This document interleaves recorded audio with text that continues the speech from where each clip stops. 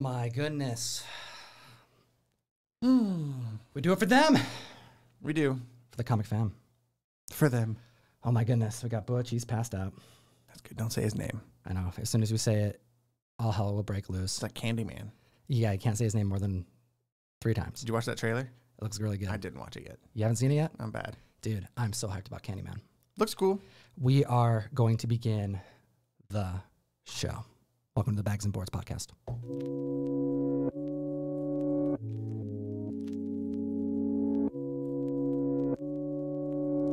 Man, we got a lot to discuss today, my brother. Mm, yeah, we do. We're starting late, like always. Better late than never, comic fam. Hit the subscribe, slap the like button. We're here to talk some expensive paper. Those are so violent. Hit the, hit the like, slap the subscribe. You know, there's, there's got to be a nicer way to say those. I don't think there is, Ryan. Oh my goodness. Comic fam, we're here to chat with you. Bags and Boards, number 43. Can you believe it? 43 podcasts in. That's a lot of them. You know what? I'm glad to be here. I'm glad to be here with you, man. One of my best friends, Fire Guy Ryan. He reads a lot of comic books. I do. I'm Comic Tom. Every day. It's a lot. I also, you know, read Every and do all that kind of thing. And what we're going to do here today is we're going to chat about comics. We're going to order some comics. We're going to review some comics. We're going to talk about some spec comics. We're going to talk about conventions because we know there's a lot of members who are brand new to this community. We have the proof. We have the data. We have the statistics. We got the documents. right? Yeah, Thank you. that's good. Oh my gosh, I love that. We gotta clip that one out. Um, but what we're gonna do is, um, you know, we're gonna we're gonna chat. We're gonna chat. So the first thing we gotta talk about is that this is a live show, and it's also available at, on SoundCloud, Spotify, Stitcher, and iTunes. We will be posting that later. The next not yet. semana, yeah, we like to hold off, you know. But if you're joining us here on YouTube, you're in for a treat because we do giveaways on the show. That's when you can win things. You have to be here live, and we try to go live bi-weekly on Thursdays, assuming that previews comes out on time. Because it didn't this past month, which is why we're here today. Right. So there was a weird gap. just Yeah. a poquito gap. We'll blame them. Okay. Um, but the first thing we got to talk about this is real comic fam. We need to talk about this. And I, I mean this with the most respect. Do we? Yeah, we do. We're getting right into this damn show, man. Buckle up, comic fam. You're in for a fun one. Okay. So we're talking about this. This is what happened this week. Okay. This I was this week? This is this. This is actually not this week. What you're looking at right here, 30 years ago. um, something that happened uh, 29 years ago. We have Demi Moore, pregnant, legendary photo on Vanity Fair. Now, why is this on the screen right now? Why are you looking at this right now? This is all about comic books. Don't worry, I'm going to take you there. But Ryan, I got to tell you a little story. I was hunting. I was hunting for some comics, and I bought Oh. a bunch of comic books. Right, thought you meant like in the woods. I was just going out in Montana, Actual looking hunting. for some deer and comics. There's comics. in and the comics. And I was like, I get my deer and I get the comics. No, no, no. And my Demi Moore. Come on. Um, so this is what happened. I got a collection. I got a collection of books. And this right here, can you believe, was such a popular event in 1991 that a comic company, DC Comics, Warner Brothers, decided that they need to make an homage. They need to make an homage to this Vanity Fair cover. Now, the reason why I'm bringing this to the community's attention is because I did not know this. All right, so I'm going to bring it back. This is what happened. I secured this cover, Pinky and the Brain, number 26. And I was looking at this cover going, what the heck is up with this cover? This is Pinky, and it says he ate too much cheese. And I looked at this cover and I'm That like, happens. This has to be something. Like, what? What is up with this? And you know, it's actually worth How long bit of ago was this? This is like last week, man. So I was surprised to find out that this is an homage to this cover on Vanity Fair. Amazing. But here's the thing. It's the, it's the only cover that homages the Vanity Fair, The- of uh, course. There's the- no other comic that plays off of the whole. Uh, apparently. I, I have no idea if there are. Maybe the comic fam knows. They can tell me in the comment section below. Maybe someone knows a different homage to this magazine. Well, what I do know is that this Pinky and the Brain cover is an homage to that. And what I did was on Comic Tom 101 on Instagram, I thought, oh, this is fun. Like I was hunting and I found this discovery. I found this in a collection. It's worth some money. A lot of people probably don't know this. So I went to Instagram and I decided, oh, I'm going to post. I'm going to post to my story these covers because I want people to see them, to see the homage because I think it's kind of funny because we got Pinky Cool, on DC covers, right? Right. But here's the thing I got distracted. So what I did is I posted this magazine. And then I forgot to post the homage. And then a day went by. And I'm going through my story because sometimes Instagram double posts your story, whatever. So, Comic Fam, for our audio listeners, what we're looking at is a Vanity Fair magazine with Demi Moore, and she's pregnant and she's luxurious. I mean, she's beautiful. It's a pregnant woman. Can't deny it. Yep. Can't deny it, right? She's glowing, as some would say. And I'm also holding a Pinky and the Brain cover with Pinky holding his huge stomach saying, I knew I shouldn't have eaten all that cheese, erp. And he's doing the yes. same stance. So what I did is I forgot to post the Pinky and the Brain cover. And for over 24 hours, my Instagram followers just thought Tom wanted to share this Vanity Fair This cover is for a no reason. magazine channel now. This is they thought I did this for no reason. So I just want to let you know, comic fam, there was reason. I, I didn't just get excited about this cover 29 years later and wanted to share it with you. Not that I wouldn't share it. Maybe But- she is homaging Pinky and the Brain. Maybe Maybe. maybe the comic was first, and Vanity Fair was like, let's let's replicate this this cartoon mouse. Wayne 8223 says Pinky was a genius. Oh, Pinky was the genius. That's that's very true. Pinky was a genius. Never watched that You cartoon. didn't watch Pinky and the Brain? No. Okay, here we go. Um, but anyways, that's that's that's my story about Instagram. I was I was a little embarrassed because I feel like there's a lot of members out there going, "Why did Tom just post this all of a sudden?" Creep. Uh, and sign up for the mystery mail call, you know, kind of stuff like that. So, anyways, comic fam, we're talking expensive paper. We're talking about Pinky and the Brain. We're talking about Demi Moore. What's going on? Um, welcome. I'm, I'm glad you're here. And to the chat, thanks for being here too. Um, I'm thinking we're going to jump into the first part of the show. Um, this is one of my favorite parts of the show. And this is where we chat about what we're ordering. Okay. So, first off, I want to remind you Mill Geek Comics over on Patreon. This is our homie, a member of the channel. His name's Russ Bright. He's an Overstreet advisor and LCS owner, and Ryan works there. He's not on the soundboard anymore, though, is he? No, no, no. I don't think he's on there right now. It's I, got a- other things on there. It's a boy Mint, I think. Is on Oh, yeah, that's right. That's on the soundboard. But right now we have um, the ability to serve the community around the world, get your comics, and never miss out on your comic orders again. Um, what you do is you sign up via the join button on Mill Geek Comics on um, Patreon. Link is always in the description, of course. And what will happen is an email will be sent to you post you signing up. This $10 a month will get you free shipping. Right. And Ryan will be 10% your. discount on everything you order, too. Thank you, Ryan. Got to remember that. Fire guy Ryan in the house. Ryan started the fire! And Ryan. Is that the longest you've gone without using the soundboard, by the way? I, I think so, man. This is a, it's a record. Dude, we got a long show ahead. There's a lot of time to, to Plenty of go. soundboard options. So what Ryan does is he was going to contact you and he's going to set you up so that you have an account and you'll be able to order your comics. Now, what we're going to do today is chat about some stuff that you can order. And when is the previews cutoff? It's the 26th of this month. All right, so you got some time, but you know, give you something to think about. There's some comics on here, actually one in particular I'm ordering more of, like in excess of 15 copies. Weirdo. I am weird, but some of the members are going to appreciate that I'm being transparent and letting them know because maybe they want to order more than one copy. So let's jump into it. Um, get your comics at MilGeekComics.com, uh, MilGeeks Comics Patreon. Ryan will become your dealer, um, but we always recommend Google. Find your LCS first. Do you have a local comic shop nearby? Support them. Give them a second try. They screwed up your order. Give them a third try. All right. But if you have exhausted all your options, we're here for you. We got to get you your comics, comic fam. And we're going to start off with this glorious variant. Okay. This is W. Maxwell Prince. We got Ice Cream Man issue number 26. This one right here is four bucks. The reason why I'm putting this on my pull list this week, well, granted, I actually don't, I didn't put this on my pull list. This has been on my pull list. If you notice, it says here, um, granted, this is, uh, you know, You're part- not logged in, right? I'm not logged in, but if you were to log into mine, it would say subscribed and pre-ordered already because I get all the cover A's and cover B's of Ice Cream Man. Both.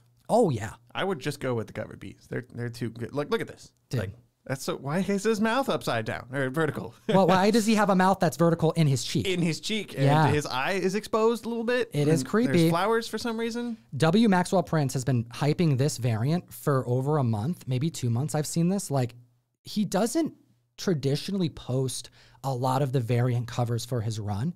So I think when he does, it means that it struck a chord. What do you think, Ryan? It's freaky. I mean, they're freaky. all really freaky, and that's the beauty of I think the variants specifically for Ice Cream Man. But this one, ugh. Well, stay tuned, Comic Fam. 'cause We're gonna, be, we're gonna be talking about some W. Maxwell Prince goodness here in a sec, but we're gonna keep it going because this book has got me like, I, I have so many questions. First off, Tom freaking Taylor, come on. This writer, damn it, Ryan. He's really freaking good. That's kind of the best way to say it, really. That's- Nightwing. Nightwing. That's that's really all I need to know. Okay, well, you, you shouldn't just know that because he's done a handful of things that you're going to know. Um, and he's just been excellent. He's totally rebranded the Nightwing line and brought so many new people to it. Um, I've never really been super into Nightwing. Like, I, he's always my favorite, but like, I, I kind of come and go. I never read a Nightwing book before, but it's my favorite DC superhero comic right now. It's one of the books. I mean, there's, I have a lot of books on my pull list, and I get to them over time. But this one, I'm like, oh, the next one's out. Reading today. It's, it's one of those situations. So when he's attached to this book, Dark Ages, I got so many damn questions. This one sounds super interesting. I mean, just listen to this. Uh, mysterious description. Tom Taylor's on it. You know him from DCeased as well. And it's one of those writers that, as you say, you subscribe to whenever he's doing something new. But this particular, like, run of comics when searching for exclusive covers, and I had a handful to look from, I was told, I'm not going to tell you by who. Yo, Tom, this Dark Ages, I think you're going to want to you're going to want to consider that one. you And mean for the mail call? I, I was thinking like a possible possible exclusive, yeah. You know, kind of searching through what was available. So And somebody at Marvel? I'm not saying anything. I'm saying that somebody Somebody told me, hey, told you. you. should look at Dark Ages, Tom Taylor. You should be really considering because they think that this is going to be a banger. But the narrative is like impending doom. So, you It know, something from before time itself, which is like something we've heard before. I thought Knull was, you know, Right? The description here is pretty much just like we're getting the Avengers together, we're getting the Defenders together, we're getting the champions together, but everybody is defeated by some epic supervillain from you know who's who's way crazier than anything they've ever fought before, and it's like, yeah, again, we're gonna do this again. Like we, this happens all the time. I think there's going to be some ramifications in this. They got a really good good writer on it, um, and really the art for the variants that we've seen so far, it shows heroes that are like damaged badly. Cap is bleeding on the cover. Spider Man is torn up. So I think there's going to be some changes, some ramifications, possibly some deaths. I have no idea. I haven't had, I don't have any insight on this. Besides, I was recommended to seriously consider this. This is on my pull list. I'm in. What's Tom up? Taylor, six issues. I'm in. That's easy. Okay, there we go. Next. Next one, um, we have Ultimate Fallout, the facsimile edition. Okay, comic fan, full transparency here. I bought like 15 or tw- I can't remember. I told Russ it was a lot though. He's like, really? But it was like 20 copies of this book. You know, the last time this was reprinted heavily was on the Halloween version. I think it was like a free comic book day, but the Halloween, Halloween, whatever they call it, Halloween Fest or whatever. And that book in near mint goes for 20 bucks because Ultimate Fallout 4 has spiked to all hell you know? So this right here just seems like a no-brainer to me. It's four dollars with discount. You know, I, I've spent more on modern books. I might as well throw some money down on a facsimile. There's been too many facsimiles that have spiked. And it's Miles Morales. When I think of facsimile too, I'm thinking of like a Bronze Age book or a Silver Age book. And for someone like me who loves modern stuff, like this would never, I would, I'm never gonna have this comic. So except for the facsimile version. And that's why I think this is a good bet. Now, will this hit crazy numbers? No, I don't think so. But I think this could be a $10 book very Plus, quickly. it's got all the original ads, so you could like, whoa, take a mind trip back to 2012 or whenever this was. Hell yeah, Mark Bagley, baby, let's do it. Okay, here we go. Um, we're gonna keep it going because we have um, Dark Ages again. Man, I clicked that link like three times. Okay, um, Nick Spencer's run on Amazing Spider-Man's ending. Um, I, not to my disappointment, but to many people's probably Satisfaction. Satisfaction A lot of- of people have not been satisfied with his run, and I think a lot of people will be glad to hear that he is leaving this book. Okay. Well, you know what? I am very excited to see that Peach Momoko did this stunning cover. It is a Pretty good. expensive book, but this is the change up of writers that's coming, the passing of the torch, if you would. And with this gorgeous Peach Momoko cover, I had to have it. Like this thing, look at this. You see the sky, the the skyline back here, the Did webbing. not even notice that. I know, There's that's what I'm buildings saying. back there. There's so much to look at. The Yeah. roses. I mean, you got to remind yourself, comic fam. Okay, I'm gonna do it right now. Uh oh. I've been waiting for this. I want the comic fam to realize what happened with Peach Momoko. We stole Peach Momoko from an entirely different industry. She was Oh. going to be a tattoo artist. You mean like we stole her? She's in the kitchen right She now. no no no we didn't steal nobody. Uh, yeah, we went to Japan. No no. Um, But no, um, Peach Momoko was gonna be a tattoo artist, and she was dabbling in comics. She was training. She told me she was actively training to be a, a, a tattoo artist, Tattoo issionist. and now she is one of Marvel's biggest creators. One of the biggest creators of all time, and I'm not not, not, not of all time, excuse me, but like all, but in the last like two years, She's and she is on her way. right now in this current catalog. She's very busy. Like there's plenty of Peach Momoko variants just this month available. It's kind of right. crazy how how much work she's done and is doing. The comic fam stole her from the tattoo community. Good. All right, we we won. Screw them. Screw I don't think I've ever heard people. someone talk about this. Screw those tattoo people. What are you saying, Ryan? You have a Yeah. tattoo. You have a Green Lantern tattoo. Yeah, but it's on your butt. It's hit. Um, yeah, that's true. And my I have two tattoos. Actually, no, you have the green one here, but you have the uh, yellow one on your butt. it's true. I don't recommend a yellow tattoo on your You've butt. seen it. Comic fam, Peach Momoko. I call this a win in the in the community here because Yes. we we secured an amazing artist for our community. As you can see. as you can see. So Right here. wonderful. So there we go. Sorry, tattoo community. All right, here we go. Now we have um, some legendary stuff in the making. Uh, Red Sonja over at Dynamite. Yeah, number one, Mirka freaking Andolfo. That's right. No better time to get jump to jump on a brand new title, something that's been optioned. Something we got Conan coming to Netflix in the near future, and Mirka Andolfo is just such an amazing person. She's a lovely person. She's a killer artist, and she's writing this book and doing covers for it through Dynamite. And the narrative sounds like very welcoming to a new reader. I am somebody who has stayed away from uh, Red Sonja because it's I don't know where to start. It's it's been going on forever. I've never really felt compelled to try until until now, honestly. Okay, new- well- a new number one. a new number one. It's going to follow Red Sonja showing up to a village that was just slaughtered. And she finds a child with white tattoos, and she has to kind of take her under her wing, keep her safe as they go on, embark on a journey. So there's this high stakes because there's this vulnerable person that's with her. But Red Sonja, she's a savage. She's the she devil, and she's gonna kick ass. And shout out to Dynamite. Shout out to Vincent. Shout out to Nick for hooking me up with some pages to show the community. Oh my gosh, never. This is what comic fan. Where are you getting this anywhere else? We got some Sonja sneak peeks. Sonja sneak peeks right here, right now. The art looks fantastic. Look at this. Boom.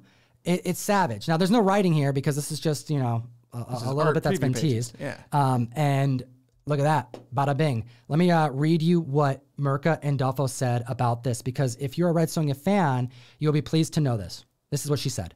Quote, Red Sonja is an extraordinary, multifaceted, oh my gosh, Butch is here. Butch is here. Here, read this because it's kind of far from me. Red Sonja is an extraordinary, multifaceted character, and I loved her from the first moment. When That's right. asked to make my own version of her, I immediately accepted. She's been collaborating with DC since 2015. She's done pencils on Wonder Woman, Harley Quinn, Catwoman, um, Bo- DC's Bombshells, Teen Titans, Green Arrow. She did interiors on Teen Titans 12. What's up? Um, this is very exciting to me. Um, Red Sonja, put it on your pull list. Not only that, there's a handful of variants that I'm hyped about. Comic fan, you know I like Red Sonja. Take a look at this. Boom, gorgeous cover. Boom, another gorgeous cover. Boom. Um, this is the, the, the kid I was just talking about. Right. All right. And then look at this one. Fantastic. That took some time to do right Yeah, there. that's pretty cool. That's hot. I love it. And then, of course, you got your cosplay cover, supporting the cosplay community. I love it, Dynamite. Keep up the good work. And also, let's actually take a quick look at what we have here. Marvel Decoded says, I love you, Ryan. And he just won a giveaway. Show him what he Or got. she. Or be- she. Know, That one right there. It's topical too. Where- what Oh, hold on, hold on. Let me bring it back. Let me bring it back. That's us. Boom. Oh, there That's right. go. We have a Davi Go Red Sonja number one, the superpowers variant. That's going to be yours. There's going to be a um, an email in the description of this video, but you can also just get ahead of it. Bags and boards giveaway at gmail.com. Email us. Mention the book, Red Sonja, the superpowers, and say that you won on a comic uh, on the podcast, podcast number 43, and we'll send it to you. That's some comic karma going your way. That's how we roll. All right, let's keep this rolling here. We have what? Stray dogs? Uh-huh. Never heard of that. Yeah, All right. Me neither. Um, for real, um, I'm so glad that you brought this to the table when you did I'll take full credit for the whole, for the entire popularity of this. Um, you get full credit because you were the first person to be like, It was you me. need to read this comic. I'm excited about this comic. It hadn't even come out yet, but the trade is here. This is one of those moments where if you're like, I really want to get somebody else into comics and I don't want to give them a superhero comic book, I ordered this trade for that exact reason. This is I'm gonna try exactly and sneak it to my it. dad who hates comics and fun. So hopefully he likes dogs. That's right. So maybe this is not the book to give a dog lover. oh, there you go. I Um, don't know. It's, it's a tough story. If you haven't read it, you got to read Stray Dogs, and now it's collected in a trade, or it will be uh, when it drops on September 15th. That's right. All right. And speaking of that, oh, please explain what's going on with this because Jeff Lemire, it's just one of those situations where it's so damn interesting that I don't even really know. Like, I, I don't even care. I just got to order it. Jeff Lemire and Andrea Sorrentino are like a, a top tier creative team for me, kind of like uh, Ed Brubaker and Sean Phillips. Like when I see this creative team doing something, I am immediately interested, if not like automatically on board. Sure. It's a six issue miniseries called Primordial that is apparently uh, takes place during the Cold War, and it's about uh, like monkeys that get launched into space and apparently abducted by aliens. They get abducted by aliens. Right. It's going to be a wild, wild ride, comic fam. And it's only six issues. I love books that have a definite end. That's how I feel, Ryan. That's and- how I and They're feel. so good together. Like I this mean, is going to be a great book. Dude, this I'm is the excited. Gideon Falls team. right. Like, don't get it twisted, comic fam. Just because it's a silly premise, this could be an epic story. It most likely will be. With the two of them, it's pretty much a guarantee in my mind. All right, keep it going. Eternals. Now, this is a um, Like a uh, tie-in. a tie-in, Yeah. right, to the Eternals run. But this is Thanos Rises, right? Thanos has kind of popped up a few times in this Eternals run, and I'm not gonna lie, it has not been my favorite book on my pull list. It is very dense and complicated. I think as the Eternals should be, but this is gonna be a cool tie-in that it looks like it's gonna be like a Thanos origin story. So I'm on board. I want to see what Kieron Gillen can do with a Thanos. Well, Origin. Eternals are created. All right, they're not. Right. They're not born. They're created, and they don't have children. However, this is going to dive into that story. You know, it's simply something that Eternals don't do, but some think that they can find a way, and they were very terribly, terribly wrong, is what it says in the solicitation. But Thanos rises, and that's what I got. I, I, dude, I love Thanos, so that's why I'm getting it. All right, keeping it going. Doctor Strange, the death of Doctor Strange, a one of five series. I mean, do we even need to get much deeper into this? We have a very vivid cover. Doctor Strange gonna be seeing his demise soon. Uh, It's like a, I, what? I think it's like a like a Batman Beyond kind of like old man Doctor Strange. Like I don't think it's him dying immediately. I think this is showing the future uh, when he dies. Okay, that makes sense. Maybe I could be wrong. I don't know. I don't read a lot of Doctor Strange. There's not a lot of Doctor Strange out right now, right? Sur- Surgeon Supreme kind of came and went. I like that one too. That didn't really last very long, and I think this is like the first Doctor Strange story since mm, then. I think so. I'm in. It's five Alright. issues. Again, it's going to end soon. You're not signing up for a giant ongoing series. So Oh, and you know we got AW. Is, no, no, no, no. What am I saying? What am I saying? Is it AWA? this is AWA. yeah, of course sure. we got AWA on here because That's why I put it on the list. I know, dude. Ryan, you love AWA. I and do. You've gotten me into so many of their titles. They are pretty good. Talk to me about this one. This is Telepaths. It's going to be a six issue series where some event kind of just awakens like telekinetic powers in like 10% of the world's population. There you go. I'm It's following two different people. Right? Uh, yeah, it's got like I a like it. split protagonist kind of story, cops and robbers sort of thing. Very cool. I'm in. I'm in comic Doesn't take much to get me on board. I want to know what you're reading, comic fam. What's on your pull list? Please let me know in the comment section. Let me know in the chat. Help your fellow members. That's how we find new things. There's a lot of new comics that come out every single week. Independent, Marvel, DC. And if you're going, yo, Tom, what about the DC stuff? Well, you got to subscribe because we do a whole other preview show about DC because there's so the next many. time we're here, we'll be doing the DC catalog. That's how we do it. All right, this is how we do it, comic fam. All right, now we're gonna get into. Can you get that on the soundboard? I we should. This is how we do it.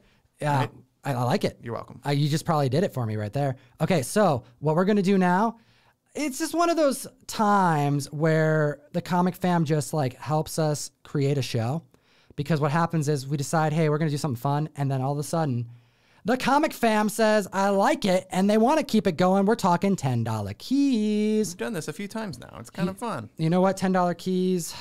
It's just one of those things, man. Comic it's books. like when you think about keys and you think about comics that are worth a lot of money and comics that blow up for somebody like me who doesn't really ever do that and it's like i don't want to spend hundreds and hundreds of dollars on some comic that's way out of my price range, and I it, I just don't even care. With You can buy so many modern books with that money. exactly. I mean, and I get that, man. I've been there. But here's the thing comic collecting isn't just about expensive comics, it's about all kinds of comics. You can have, do- dude, I have dollar bin comics that I, you know, keep right next to expensive comics in my uh, BCW plastic case that I have, you know, like my, my nice short box that I keep my slabs in and stuff, mm-hmm. you know? Fancy. I know, I get a little fancy with it. I'm very proud of my collection, Fancy Ryan. Dan. All right. So it's not just about expensive, expensive comics. You can get key books that are a dollar, that are three dollars, that are under ten dollars, and that's what this conversation's about. Now, I'm gonna, you know, we're gonna continue doing you a solid comic fan because you know what? We've had a handful of these keys take off since we started talking about them. Because guess what? They were good spec. What's up? All right. You see what that uh, Green Lantern Black Hand's doing? No. All right, it was doing well. You see what Alpha Flight One's doing? Doing well. By the way, thank you for that. You got me the Green Lantern uh, Black Hand first appearance. That I was sure did. That was a nice con treat. Thank Well, you. you know what? I hook up my homies because when you're chilling with your homies. Uh oh. There it is. Oh, I'm a little rusty, comic fan. It's like you never. That's the one you never use. I, I don't think anyone's ever heard that song before, so it's hard to remember where it is. They forget. They forget. That's the thing. Yeah. All right, here we go. So $10 key section. Now, we picked some books. Some of these are really cheap. Some of these are good spec books. Some of these may not happen. Some of these may. You never know. But Some here's of them the just look cool, and like I want to read the story, which doesn't really happen on spec stuff for me. But you know? some of these look really cool. I'm not All gonna lie. Some of these are like, in my opinion, if you are able to secure this for cheap, you're gonna be happy regardless of if it happens. If something in the MCU or DC, it doesn't matter. Exactly. It's a little, a little safer. You're not Right. gonna lose your house because you skipped rent to buy a, an expensive book. All right, here we go. We're starting it off with the first one. We got Blade number one. What's up? Okay, so Blade, uh, Blade one, Vampire Hunter number one. This is a three dollar average book right now. First spectacular issue. First in his own solo series is going for a pretty penny. Like it spiked tremendously. His first appearance in Tomb 10, I mean, that's kind of what we just chatted about. You're going to put a lot of money towards that, okay? But this book is a $3 book. It's also the first team appearance of Silver Eye, the covert uh, shield organization mobilized to eradicate vampires. And we'll know from the most recent Loki episode. I think it was the most recent one. It may have been last week. I'm I'm getting my I've had I to watch it. I so watched them back to back, so it's like I, I saw them both yesterday. It could be one of the last two. I almost I'm almost certain it was yesterday. Someone in the comic fan will tell us right it was now, either I'm this sure. week or last week. Vampires were confirmed. vampires exist in the Marvel Cinematic Universe. What's up? But That would have been a good X Files one. Too. oh, that's true. Yeah, I could kind of go, go go with both. All right, but here's the thing: we know vampires exist. We know Shield is playing a big role in the MCU. Blade number one issues will spike for sure. This book, I'm gonna call it right now, will be a ten dollar book eventually. It's going for three to four dollars. Um, also, take a look at this because this next book is the variant copy of that issue. And this variant hits $115 on average because of cover art alone. Do you have like Freddy Krueger claws over there? He kind of looks like it, right? What's happening? I And know. a It's, it's freaking Blade, man. What's up? I've been watching True Detective. Uh, I'm getting to season three with Mahershala Ali, who's going to be playing Blade, and the whole time I'm just like Blade, Blade, Blade. He is Blade. such a freaking badass, He's a dude. terrific actor. he I'm- is fantastic, man. Yes, I'm very excited for that. Cottonmouth. Sure, yeah, Like, he was Cottonmouth. He was in Luke Cage. he was such a. he was in a Netflix Marvel show already. Yeah, he's already done this before. Exactly. He, he knows he knows what he's doing. He's gonna be so freaking cool on the screen. I can't wait. I miss Cottonmouth. Side note. All right, next one on the list. Oh my gosh, that's right. I did. I did it. I did it. Uh oh, what's going on here? I don't, you got away from the bad book. I got away from the bad book. What is going on? Oh, wrong button. There we go. Don't do that. We got Youngblood issue number two. The comic fan's gonna be like, "What are you doing putting Young- Youngblood on this list?" Comic fan, we're looking Yeah. at Youngblood number two. This is to go a. change my pants. You love this. I don't. This is some Rob Liefeld goodness. what hurts about it, Ryan? it's Rob Liefeld, man. Why don't you like Rob? The story, I'm sure, is even going to be gross. Like, regardless of what this looks like, it's going to be people, you know, superhero teams engaging in pointless fights. Dude, what's wrong with Pointless? Do you ever watch Dragon Ball Z? N- no, Well, you should. actually, I did. I watched a little bit of Majin Buu stuff. Dude. That was cool. And that's actually kind of like after give- the I'll really, really good one. stuff. You I need to watch the. Cell stuff, the Android 1718 stuff. Come on, come on. Comic I was like sixth grade, so uh, you know everyone had everyone's got everyone gets a pass when you're like 12. Oh my gosh. I used to draw that hair all day long. Come on. Okay, Youngblood number two. Oh, this book- hurts. You can get this for five bucks. Comic fam. First appearance of Shadowhawk, five page story featured on the back cover. First appearance of Prophet. And I'll remind the community that during the early COVID days, May 2020, this book became, uh, it, it- it grew and went on Spec Radar and exceeded $10. Why? The writer of Arrow was hired to develop Prophet for a TV series on the CW. Arrow is not a show anymore, so he's probably got nothing else to do, especially during lockdown this whole time. That shows, I would assume, if he's still working on it, it's probably pretty far along. Right. I mean, how much material is there to work with And- though, on a shallow Rob Liefeld book like this? Oh my god! I should actually read some of his stuff so I can complain, like, with you know evidence. You, I need some evidence, To back it Ryan. I, I, I'm not believing you right now. But here's the thing: this right here is a minor key.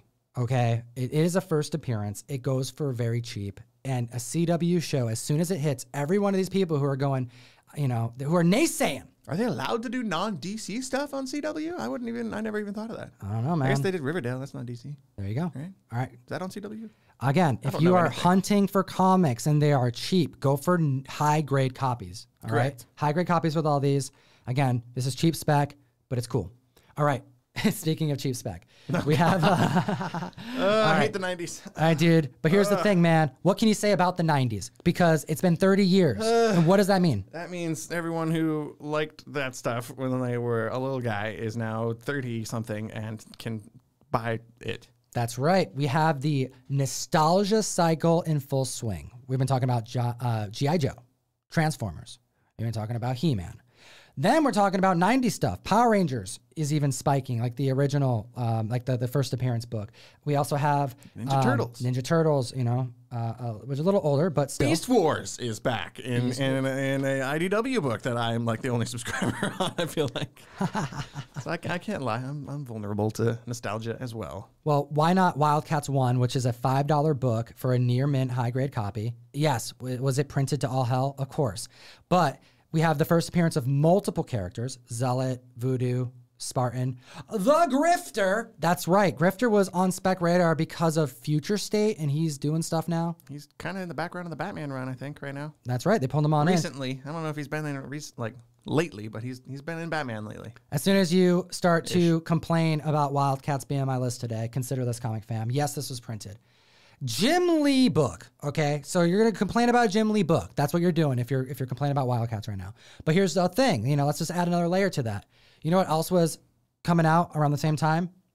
That also had a ginormous print count. X Men. All right, Jim Lee. Jim Lee. Yes. Come on. And what's that book doing? People scoff. They're like, oh, that book will never be worth more than a dollar.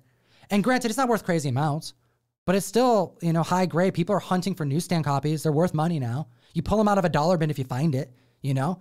Pull out Wildcats 1 if you Further find it. away you get from it, the less you know available it's going to be, I guess. And you know, time. That's what I'm saying. This next one, we got Moon Girl Devil Dinosaur, issue number 15, the first meetup of Riri Williams and Moon Girl. Makes That's sense. fun. It's fun. Did you like this book right here? That just I- looks. I want to. Re- I want to see where this cover comes from. Is Right. this? Does this happen there you go. in the book? In the book. She's roller skating with a jetpack, She's got a. would be She has. awesome. Yeah, think how dangerous that is. That's true. She's yeah, very small. I would just whoosh, right. like or just straight to the floor or hit a car. right. I want to see Ryan on rollerblades You you, or could- skates. could have Not rollerblades. Those are like actual skates. Like she's got like uh, rewind like reels. 25 years ago. You could have seen me on some sick rollerblades, man. Did you wear the things on your wrist so that when you fall, you Oh, don't hurt dude, your? I never fell, man. You Come on. never fell. I didn't even wear a helmet. You didn't wear a helmet. No, I did. I did. Oh I'm my kidding. gosh, man! You I'm had to so, wear a I'm helmet, so scared, man. man. I wore all kinds of pads and, and you know, real slow. like- really slow. Well, there you go. Comic I Fam. did. This book is a three dollar book. People don't know about it. People don't talk about it. Shout out Octavio, one of our homies in the community, but also on the team who our helps us circle. source books Yep. like this. Because when it's not being spec'd on, it's a good time to secure. You may have this in your back issue bin.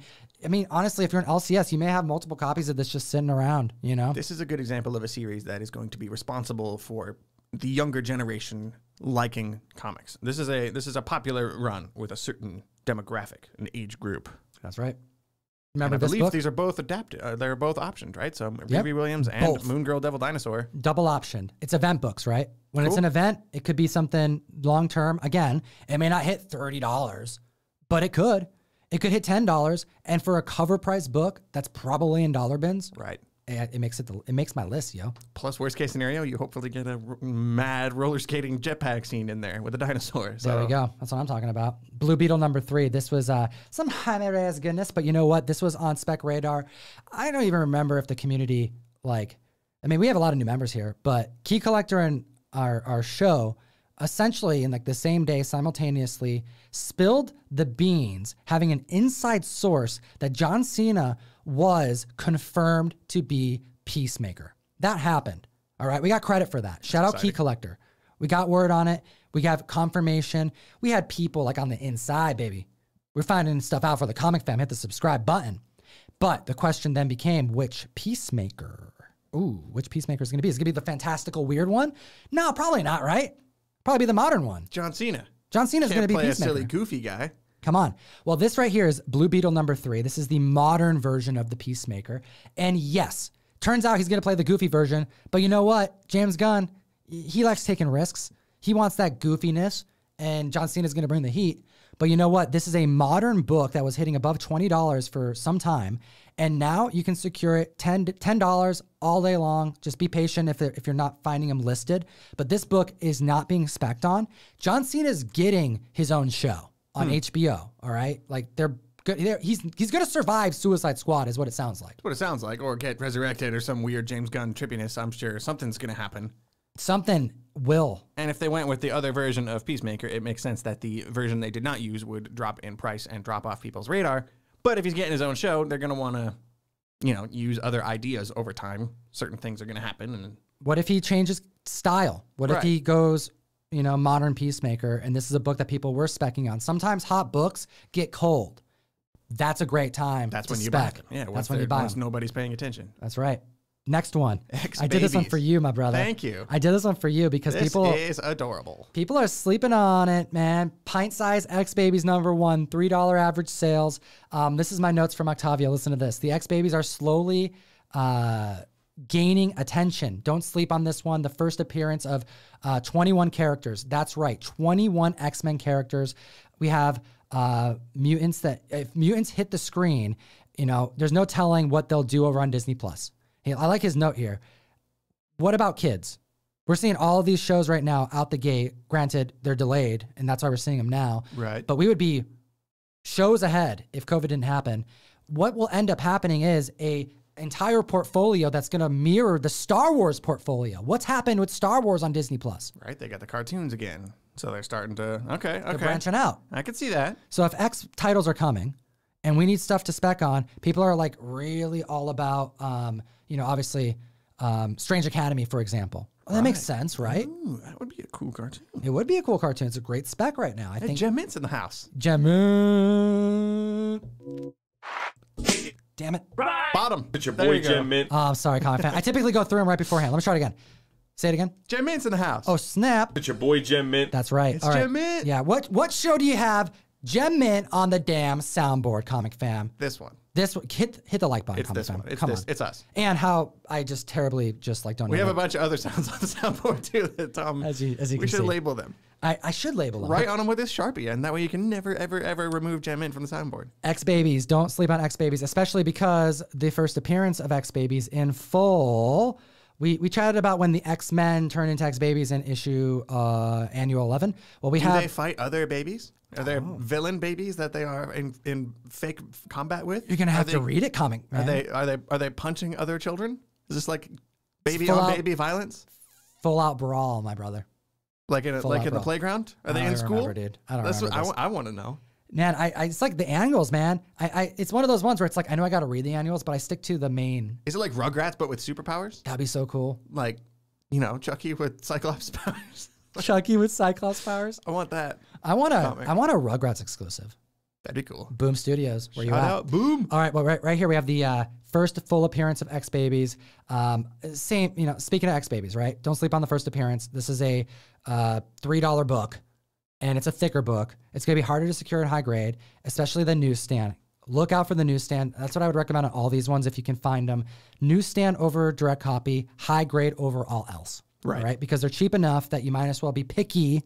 Make sure that they're clean and that they are mint. It's your boy Jim Mint. Okay, here we go. Let's keep it rolling here. Look at that storm cover. Bada bing. Next one. I put this one on here just because that feeling that you just had, that sound. Can you do it again? Ooh. That is the same noise you made when I first showed you this comic book. I make that noise a lot. It, Well, when it you- just happens. When you talk Sorry. about, you know, when you talk about things like Galactus, we all know Galactus is coming, right? Who do you associate Galactus with besides Fantastic Four? Silver Surfer. always Silver Surfer Galactus, Galactus and Silver Surfer, the trifecta. Johnny Storm goes to college. Like these are the things we think about, right? You know what I'm talking about, comic fan. Well, Doctor Strange and Galactus has they they have a like a long history as well. And having them on this cover, this is a classic book, an Infinity War crossover, issue 42 of Doctor Strange, Sorcerer Supreme. This book goes for criminally low for as awesome of a cover this is, and I would be happy to own it no matter what. How? Okay, I, I I've been. You know, I know you've been saying a bunch of stuff, but ever since you put this cover up, I feel like, Doc, like Galactus is supposed to be bigger than this, right? Like, how tall is Galactus if Doctor Strange is that size in his hand? That's a good question. He's supposed to be like larger than the whole planet, isn't he? He's huge, man. Right? And now he's. I don't know. I don't. I don't fool around with statues like our boy Jim Mint, but I feel like the the scale is is off here. You think we got some statue scalage problems? If I knew, you know, offhand what a one eighth, you know, looks like or something, You'd be like, oh, this is not that. Doctor Strange should be a lot smaller on on Galactus's hand. I feel like Well, you want the cover to look freaking good, man. we can't we can't even put this on the list now. This Oh, is take this it no off. Good. Yep. No, man. But how, how cool is this, man? To be Because it- real though, this is my uh, this is the book out of all the books we have here. This is the one that, that appeals to me most, other than maybe X Babies. I I have I have series. discerning taste. All right, there you go, comic fam. I mean, and this one isn't like necessarily a huge like spec book to me. This is one that if I found it for a buck, I'd buy it all day long. This is one that I would like to get graded at a 9.8. I think it's freaking gorgeous. You look at this background. You have like almost like these Kirby designs back here. Obviously, it's not a Kirby book. It's Got to be on Galactus' ship, you know, like all that weird trippy design on his on his ship in space. That's how it goes. I want to know what happens in the book too, which which is rare. Yeah, man, we got to go through the Infinity War crossover and cover every single issue. We issue. should probably that's a good idea. We should probably do that. Let's do it. All right, this next one here, we got Spider Girl issue number six. That's number six. Okay, this book right here is the first appearance of Lady Hawk, the female Falcon. Okay. Now, will this happen? Probably not. Maybe. I mean, everyone thought Joaquin Torres was a done deal. I kind of thought that was going to happen, and it didn't. I wasn't even paying attention to that closely in the show, I guess, because I don't even remember this character. Joaquin Torres, man, he, I think he helped like fix his wings up and everything. You know, he's someone's got to take on the mantle of Falcon, but who's to say they can't be more than one Falcon? Come I on. don't know how long the show's going to be too. They might run out of ideas by season twelve or something. You know, like keep it going, right? Yeah, but you know what? This is a uh, the female version. We also have uh, Spider Girl, which is a run that, for those of you who don't know, was so liked when it was coming out. Marvel tried to end it multiple times as just like they were like, we're done. Like we can we can end it, move on, do something else. And the readers kept it going. Like you can look this up. People talking about it when it was on their pull list. People writing in demanding more Spider Girl. Like they weren't they hmm. weren't going to let this run stop. So what that means is, oh, and, and just a little side note to that as well. The, I've owned a handful of Spider Girl comics. The chat will help me out here. You'll know what I'm talking about. These pages, Eh, they're they're rough. Like not the interiors are writing, but like the quality. Like the paper isn't the best during this time frame. They tend to get beat up. And considering that readers were actively reading this run to like to all hell, these are really tough to get in high grade. So I would say just on grade alone, this is exciting to me because if you're a Falcon fan, you would want the other Falcon appearances. But if there's MCU spec to be had, having a high grade copy, I bet if we look up the, on the census, there's like a minuscule amount of these. I'd never even heard of Lady Hawk until I came over to her house today. So There you for go. what that's worth. Now, did you know I did that not know. freaking Conan? I learned a lot today, guys. This right here, Comic Fam, is my favorite book on this list today. I'm gonna blow your mind. Todd McFarlane did a Conan cover. Conan babies. Conan babies. Is is there a baby Conan with a sword Baby barbarians. abs? That's right. That'd be cool. They're like Spartans. Like freaking just ripped little 300 babies. babies. There's 300 babies. Why don't we? Frank Miller should We rewrite should, we should make comics, but Oh with babies. Just everything's a baby. Yes. It's like Dracula straight- babies, Dracula babies. dude. X Men babies. No one thought of that. No one thought of X babies, man. Yeah, let's let's let's trademark that one. All right, so Conan the Barbarian 241, Comic Fam. This book is one that you need to be hunting for. Very fine near mint. This is what's really cool about it. Look at this price right here. $5.50. I just proved it to you. Dollars. Okay. But here's the thing if you go onto eBay to look up this book, this Todd McFarlane Conage, Conage, Conan Savage book, you're going to see them listed for 20 30 $40. 9.2s hitting over 100, 9.4s hitting 130 or so. Uh, 9.8, that's like in the three to $400 range. Newsstands that are selling for an inflated amount. People who want this book, they go and buy it now no one's looking for the book and they're being and they're not being patient. Because when you see auctions end at under $10 but high grade copies that are being listed for that amount it's because just people don't know that this happened. Conan is on pace for netflix. Red Sonja is on pace for I, I believe it's a movie is what it's sounding like. Co- the todd father man. And this is a stellar cover. I did not know he even did a Conan book. Is it just me, or does this look like? I don't remember which issue of Spider-Man it is, but I feel like I've seen a Spider-Man. it kind of does you're talking like, i think it's spider-man 8 It's I not could be wrong. 300, but there's one where no where he's like another yeah, famous one of his from this angle and like in kind of this pose. there you go Either way, this cover is freaking awesome, and I have pretty vocally not been a Conan fan or a Todd McFarlane fan. But Conan cool. 241. Hot damn comic fam. We love comics here, especially when they're done by the Todd Father and when they're affordable and when you can find them on the hunt. That's why the comic fam comes here. We're chatting comic books. We appreciate you being here. Okay, let's keep it going here because we have some comic books to discuss because we read comic books too. Comics aren't just for collecting because they definitely are. There's stuff inside them. There's stuff inside them, and I love it. I love what's inside them. But we have announcement. We got a big announcement. We haven't even brought this to the mic yet. Oh my goodness. Ah, This is crazy. ah. This is gonna be a nuts. This is gonna be nuts, all right? Okay, All right. So you guys ready for this comic strap fan? it in. Scout Comics. You know we love some Scout Comics.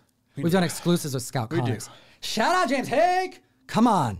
This dude's awesome. Writer, running stuff over there. We have a new product that they've released. I've announced this on Instagram, but we're going to announce it here on the show right here, right now. We have a uh, very, very cool product that they are taking to the market. It's available now. And there's a reason why I'm showing it to you because we have teamed up with them to secure one per box in the mystery mail call, hopefully indefinitely. And what are we talking about? Well, let's take you back a couple a couple beats. All right? Let's go. Not not money beats. Not like in the ground beats, not porridge. Porridge? Porridge? Porridge. Like Goldilocks? Like beets. What are we doing? Isn't porridge like with beets I in thought it? porridge was like oatmeal. Oatmeal? it's some old timey Goldilocks food. I don't know. Which is the beets the beets soup. Borscht. Borscht. That's what I'm thinking Oh. of. Not Oh porridge. No. Borscht. We're That's getting on a weird, weird tangent right now. Here we go. I don't know my soup comic fam. What is porridge? I, I don't It's like a cereal or I thought it was like what they fed people in prison. oh my gosh, right. Porridge and, and, you know, slop. Like with in the Matrix, you know, like oh the yeah, goop, like the, the goop. right? There you go. It's all oatmeal stuff. Oh man, shout out Scout Comics. Shout out to comics. Can we just retake this? Okay, no, We're we're- not live or anything, are Okay, we? this is what we're talking about, comic fan. Back in the day, when we did the mystery mail call, we've been doing it for like three years now. Three years. Oh, what was that? Three years. Hot damn, comic fam. All right, so back when we first started doing the mail call, before we were teaming up with amazing uh, publishing companies like Marvel, Dynamite, uh, Boom Studios, even IDW, even Skybound. What coming? Yeah, that's for another day. Conversation for another day. But um, it was a very difficult task before we did exclusives because we're trying to bring value to the box, right? We're trying to get stuff that could pop in the market, something that gives you a lot of value for your money, right? Right. And what we were doing at first was like, let's get reading material in there, right? So we used to do graphic novels. We did. A And lot of was- my graphic novels went in there. Yeah, a lot of like most I of got my rid of most too. of my collection and threw them into mystery boxes for you guys. You were, dude, we were working together trying to do something for the comic fam. Now, we stopped doing graphic novels because it was isn't very difficult to please every single person. And once we got so many people in the box, it became a huge project to try and hunt down X amount of graphic novels to get to fill all the boxes. Exactly. And it wasn't a it wasn't worth the it wasn't worth the task at hand because not enough people were liking what they were getting. Right. Because we got to try to find like volume ones. you Sometimes know? we got volume two of, of a run or something. Hey, but the it just- MSRP is 30 bucks. Doesn't matter. You know? no one's gonna want to read a volume two, and it just became a big thing. and we didn't have as many members. But you know what? Instead, we started to hook up members with like modern comics and other things in there. So you would get an assortment, right? Sure. But here's the thing with with modern books.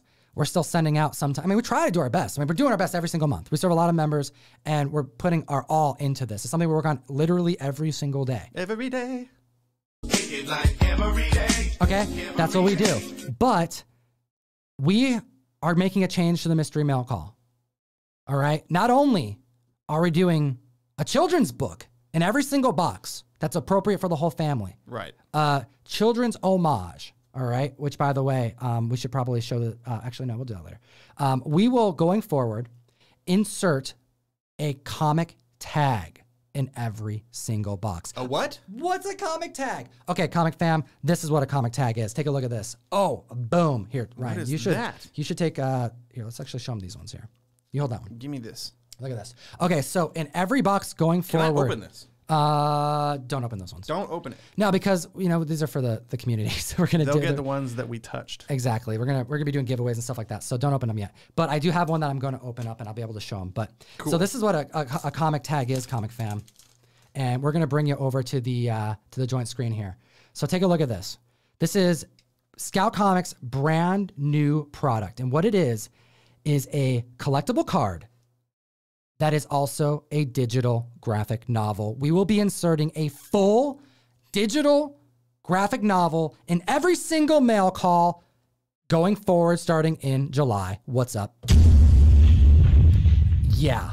And But I mean, so small. that's right. It is very. No, you take a look at this though. All right, so this is what it looks like here. Um, this is a better. Um, you know, we're holding them here. We have them in hand. We'll show you, but this is a better view of it. So we have a fold out that's essentially like an ash can to a degree. You have art on the inside pages, and what's on the inside is this card right here. See the Stabbity Bunny card, this Phantom Starkiller card, and what's on this card. Actually, let's bring that, let's bring this one up right here. Uh, let's Log look it up. in. Never mind. Okay, here we go. Just kidding. Just kidding. What's on this card here? Let's see if I can get a good picture of it. Yeah, let's keep it on right here. If only we had some. I know we have them in hand, but I want to I want them to see the, the big one here. We have the mall right here. And what this card is, here, let's bring them to the let's show them here. Bada boom. Okay, so take a look at this. We have a card. Actually, let's mm, let's open. Don't it. we have one open? I thought we opened one. We opened it, but I opened. but it wasn't one. the mall. We're gonna open one up here for you, comic fans. So take a look at this. So every single mail call will be getting this. This is a six dollar and ninety nine cent MSRP Scout comic tag, and what this looks like is a. I mean, compare it to a comic book. An actual comic, yeah. All right, it's that big. But look at this. This right here is a full graphic novel that's in here. You open it up. You're gonna want to do it carefully because it's awesome. You open it up. It's cool. There's And- like a little preview. It's like a, a miniature page That's in the comic. Like you're getting a sample of the book and a code for a digital graphic novel, a whole graphic novel, not just like a single issue. That's right. You op- you take it out and take a look at this. We have a collectible card right here. It's got the cover of the comic book on Keep it. it in your wallet. Yeah, you can carry it around for good luck. Whatever you want to do with it, it totally up to you. But on the back of it, there's a SKU code and there's a uh, little scratch off right there. And that code, when brought to the website here that we were just showing you, comictags.com, at checkout, you put that code in and you get an entire graphic novel downloaded to your phone. You're gonna be able to read an entire book with every mail call that you get now. So no matter what, even if you hate every single book that you get in your mail call, you get a full graphic novel at least. It's So a mystery get- box, man. We're trying to, appeal- you know, make, You make will be able everybody to happy. get something readable and not just issue 10 of a series or whatever. Maybe you randomly get a bunch of crap. that Yeah. doesn't happen with us. But But but about random stuff that you're not into or something. Exactly. But you know what? Now you get an entire get a full graphic. self-contained story, which is cool. I, I miss us doing graphic novels, but it's impossible to do. Like physical graphic novels with the amount of mail call that we make. That's right. All right. And take a look at this. Um, because we've done so many exclusives in the past with Scout, they are letting us be the first to like put This to is be able to do this. Um, so aside from everybody getting a, um, it's the same one every month in July. ComicTom101.com. Everyone will receive a mall graphic novel, digital, with the collectible card. But because I'm the first one to really like do my own Sure. batch for the community and what we're doing, I'm taking my exclusives to a limited press. So 500 members are going to be lucky to get the Comic Tom exclusive version of the mall comic tag. That's right. The card itself is the exclusive we took, and there's only 500 Comic Tom ones. And I'll let the community know.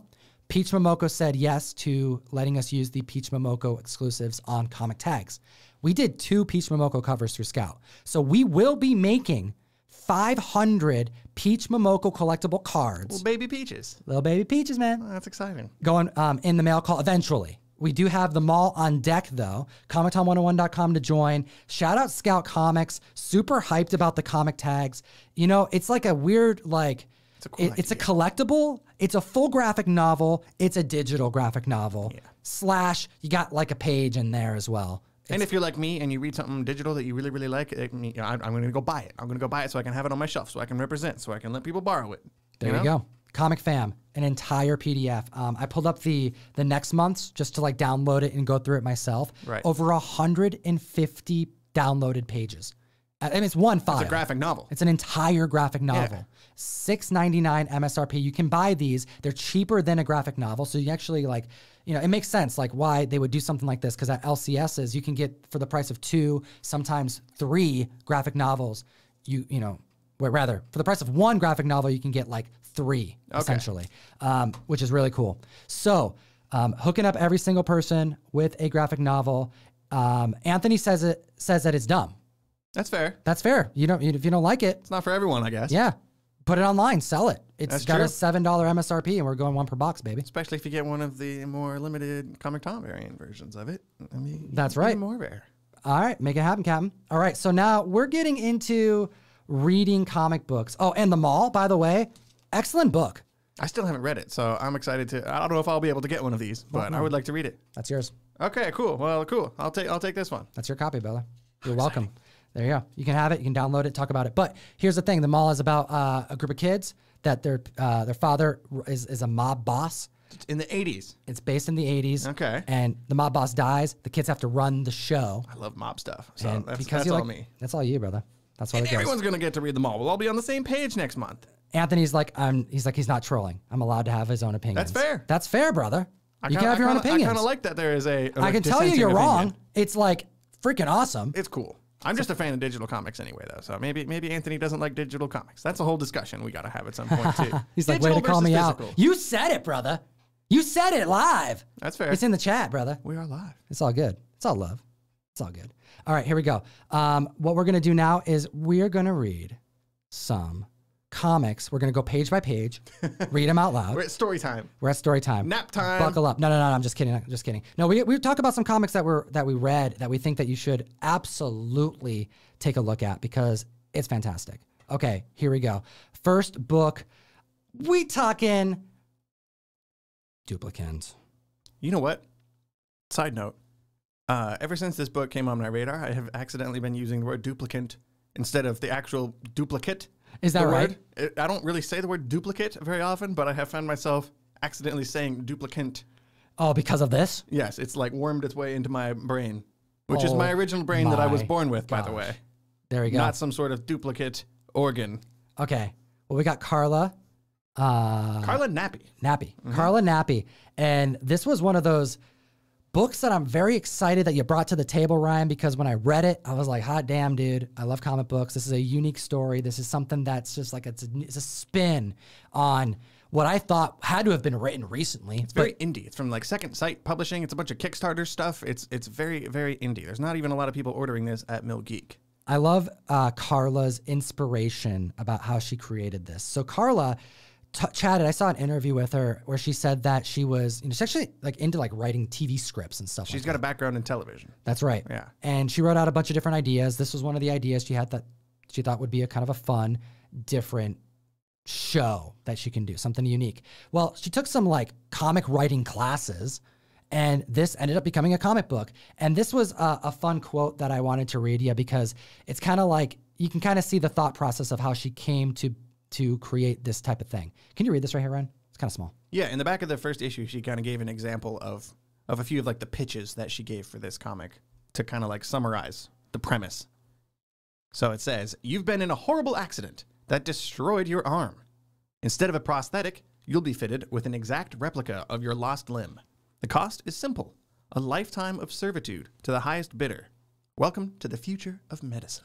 Hot damn. Okay, so right now we have duplicant. We have a pandemic. She mentioned that this was actually written and started prior to COVID. This was a freak coincidence that this is a book about a pandemic. It's like people with masks on and stuff. Yeah, it's a little, this book kind of hits differently reading now. It's unfortunately really relevant.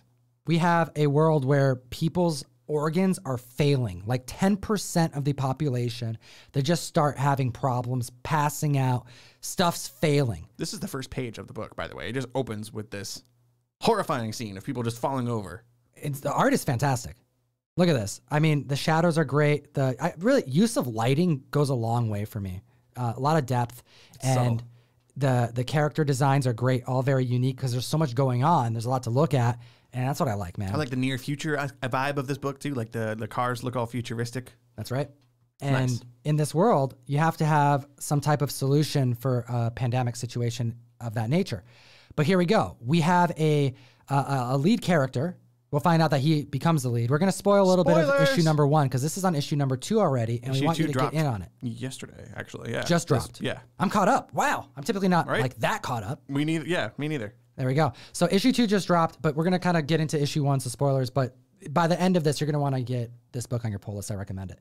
So we have a lead character here who is pretty much the person behind um, the streamlining process of people getting their new organs. The cure for the disease that this gentleman comes up with is duplicate organs. That's right. So you get your organs fail, so you can now buy replacements. so your your liver fails, you go to this guy, and instead of like getting a transplant from somebody else, they just sell you like an artificial liver, That's right. and you're you're fine now. But here's the thing: that kind of stuff costs a lot of money. It's And with ten percent of the population needing stuff like this, you can't just have it be for those who can afford it, because everyone would die. Right. So there has to be some way to rope in some way of payment, and the way that that happens, well, we have um, a, world where people's kids are sick. We have a world where um, different religious sectors are starting to look at the situation a little differently. It's kind of yeah, another another freaky echo of, of the real world with with COVID and stuff. You get people reacting to the uh, the pandemic in a bunch of different ways. There we go. But we have a character here. Now you'll find out that this character is, you know, granted, she's the one we're following, but she's about to go through an entire ordeal in this issue. And that ordeal will result in death. That's right. Scared Butch. I scared Butch, man. Now It's he's a scary kinda, idea. it is it's scary. So she wakes up and she's everything's fine. She's like a paralegal. She's about to take the bar exam. Things are looking She's good. got a pretty promising law career. Yeah, she's things are looking up. except her lung starts giving out and she passes out and she needs a lung transplant. So she gets a lung transplant. This isn't about a story about how she can't get it. Right. It's about that, no, you, you get it. She gets one of the replicant lungs. But then the story unfolds. How do people pay for their lungs? Uh, basically by going into debt, which is another commentary on on kind of the current medical system that we have, where like the cost of medicine is very very high. Correct. So, uh, as she is getting her lung transplant, we also see in between these panels here, she's waking up. And while she's That's so waking cool. up, we so see an auction happening. And what is this auction? It's for people to bid on the person for enslavement. They're buying these people who are getting replacement organs because that's you know, they're basically paying for her new organ. So she's able to live from the pandemic, but now she is going to kind of be a servant to whoever pays for it. That's right. It's a freaky idea. It is very freaky, especially considering the stuff that she has to endure. Now, Not we good. won't get into too much detail, but what I will say is there is a ramification of if she doesn't do what she is told and what she's, you know, to the person who purchased her. Well, those organs have a little bit of a, a, a, a failsafe, like, like a way to Right? It's kind of treated as a conspiracy. Like some people in this book believe that the Regenerist Tech, the company here that is responsible for producing all these organs, that they've made some kind of like backdoor way to like shut them down if you don't cooperate with your new your new owner, basically. Right. And that's where That's kind of what leave happens you. to her. That's Yeah. what happens to her. So you have to find, you have to read issue one. It's a very compelling story. The narrative is like it's very quick because you're like, wait, what's And happening? you can you can tell she's worked in TV too. This feels like it should be a TV show. Like it's got a it's got a really I don't know, it hits differently than other comics do. well done. I'm uh, I'm a- I'm a big fan. I'm gonna be reading every issue of this. This is a cool book. It's dark, dude. Yeah, unfortunately, some comics hit differently. This one makes you think about the real world in a few uncomfortable ways. Right. Thankfully, the real world is not exactly like this, So but it's the future. You never know. This could this could be the future. All right. The next book on our list here that we get to chat with you about today. There's another uplifting, fun, happy book. You can tell by the title You know what? how happy he is. W. Maxwell Prince. Savage. Right? We were talking about him earlier. Brilliant. Creative. Right. just uh, mind bending. He's a father. Okay. Like he's like over on Instagram. I encourage everyone to follow him on Instagram. He's just posting like the most basic dad stuff, you know, reading with his kids, What a wholesome, adorable guy. you know, just like normal dude. And then he writes stuff like this. Okay. Now, the first thing I want to chat about is something that the community's got dead freaking wrong. You're wrong, comic fam. Uh oh. I, I seldomly go on the mic that harsh, but you're wrong. That is harsh. I'm scared. Because you know what people say about this? I think I know what you're going to say. They say that this is like Ice Cream Man. W. Maxwell Prince is the writer of Ice Cream Man and the writer of Haha. This is nothing like hi- like this is nothing like Ice Cream Man. It's unfortunately compared that compared to that because of the cover. You right? Take looks- away from the brilliance of what this run has become. It's not Ice Cream Man knockoff. It's not Ice Cream Man spin-off. It's not an inferior version of Ice Cream Man. It's got nothing to do with Ice Cream Man. The the closest thing you can say is that there's like some existential horror and surrealism. Oh wow. It's an that's- anthology. It's an anthology. Whoa, it's so similar. Yeah. Are you gonna compare it to Goosebumps too? Like, no, this is completely different, okay? This right here, if you look at Ice Cream Man, out of the 20 some odd, how many? Dude, we're just talking about 26, right? It's 20, like yeah. 26 issues. Every once in a while, there'll be a book in Ice Cream Man that you're gonna go like, that was wild, that was crazy, that was cerebral, right? But then there's a book that makes you go, damn, ouch, Yeah. that was deep, right? Th- Haha takes those moments and puts it on a pedestal. That's the focus. It's for those types of moments, not as much horror. Ice Cream Man is definitely a horror book that is Horror. scary and has some pretty freaky, creepy, dark, scary moments. Right. This is a six-issue miniseries that is exploring different ideas. Not scary, not like a big spider guy is gonna like what was issue one Ice Cream Man, right? It's about that spider the kid has who like bites his parents and like kills them. That's right. You're not gonna find a lot of a lot of that in Haha. It's a different kind of like vibe that you get from these books. Right, right, right, right. And this one right here is a anthology that follows clowns, yes, but it's not even like always the traditional clown. Um, we're gonna kind of just show you a little bit because I don't want to give too much away because every book's an anthology. So if I give away too much of a one book, you're just gonna be like, oh, why do I even need to read it? But I'll give you an, a, a slight overview if you don't know because um, we have W. Maxwell Prince's like style, of course, you know, his, his superb writing style, but he's teamed up with a ton of different artists. There's different Each artists issue attached. has a different artist, and actually, the sixth issue is going to be drawn by Martin Morazzo, the Ice Cream Man artist. So they are teaming up for the final issue of Haha. Hell yeah, dude. I'm so That's hyped about that one. That's gonna probably be the best one in my opinion. But Right. here we go. Uh, Vanessa Del Rey um, from Redlands. We have Gabriel Walta um, from Vision. From Vision, we have Roger Langridge from Thor. Um, so this right here, um, this was a Vanessa Del Rey. This is the first issue. Issue one. Yep. Man, every every issue is drawn in such a unique style that I appreciate and that I absolutely adore. Well said. There we go. So it's pleasant to look at, but it's also creepy. It makes you think. I mean, issue one follows the a clown who's just got he's trying to just feed his family. He's a cl- his job is a clown at a carnival, but the carnival is getting shut down, and he's about to lose everything. We have Funville, which will become a Ah. a narrative throughout this. And this will make you you get through some of these issues, and this right here will make this will mean something to you. I suggest you reread all of the issues once you read the issues once because you're going to notice that there are aspects of other issues that have been very small connective threads throughout all of these, and it's hard to remember them if you wait a month, you know, in between each issue. Go back and binge the whole thing all at once. You'll pick up on some connective tissue. That's right. Funville will become a uh, a place that that gets routinely brought up sometimes. But this clown has a tough time. All right. But look at how it's drawn. Look at the panel placements. Look at the just like the, if this doesn't make you intrigued, I don't know what does. Draw like look at how like They could have been straight lines and Yeah. and clean, neat boxes like you would see in any other comic. But like the way the division between the panels is drawn at an angle, the way his, his big shoe down there at the bottom, like right. all of this, it's gold. we have a comic book that will literally take you in the mind of a clown that has a bullet going through his damn brain. Yeah. Come on. How often do you see that? How often do you see that? Okay, and it, it doesn't just stop there. Haha issue number two, which is my favorite of the batch so far, is so grounded in realism Right. that it is so off putting, but beautiful in the most creepy way.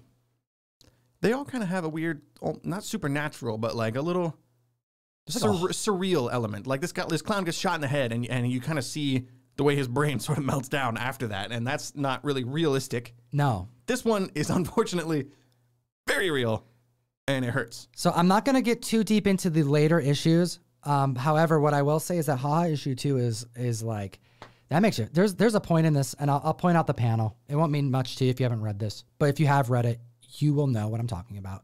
But we have a narrative that follows.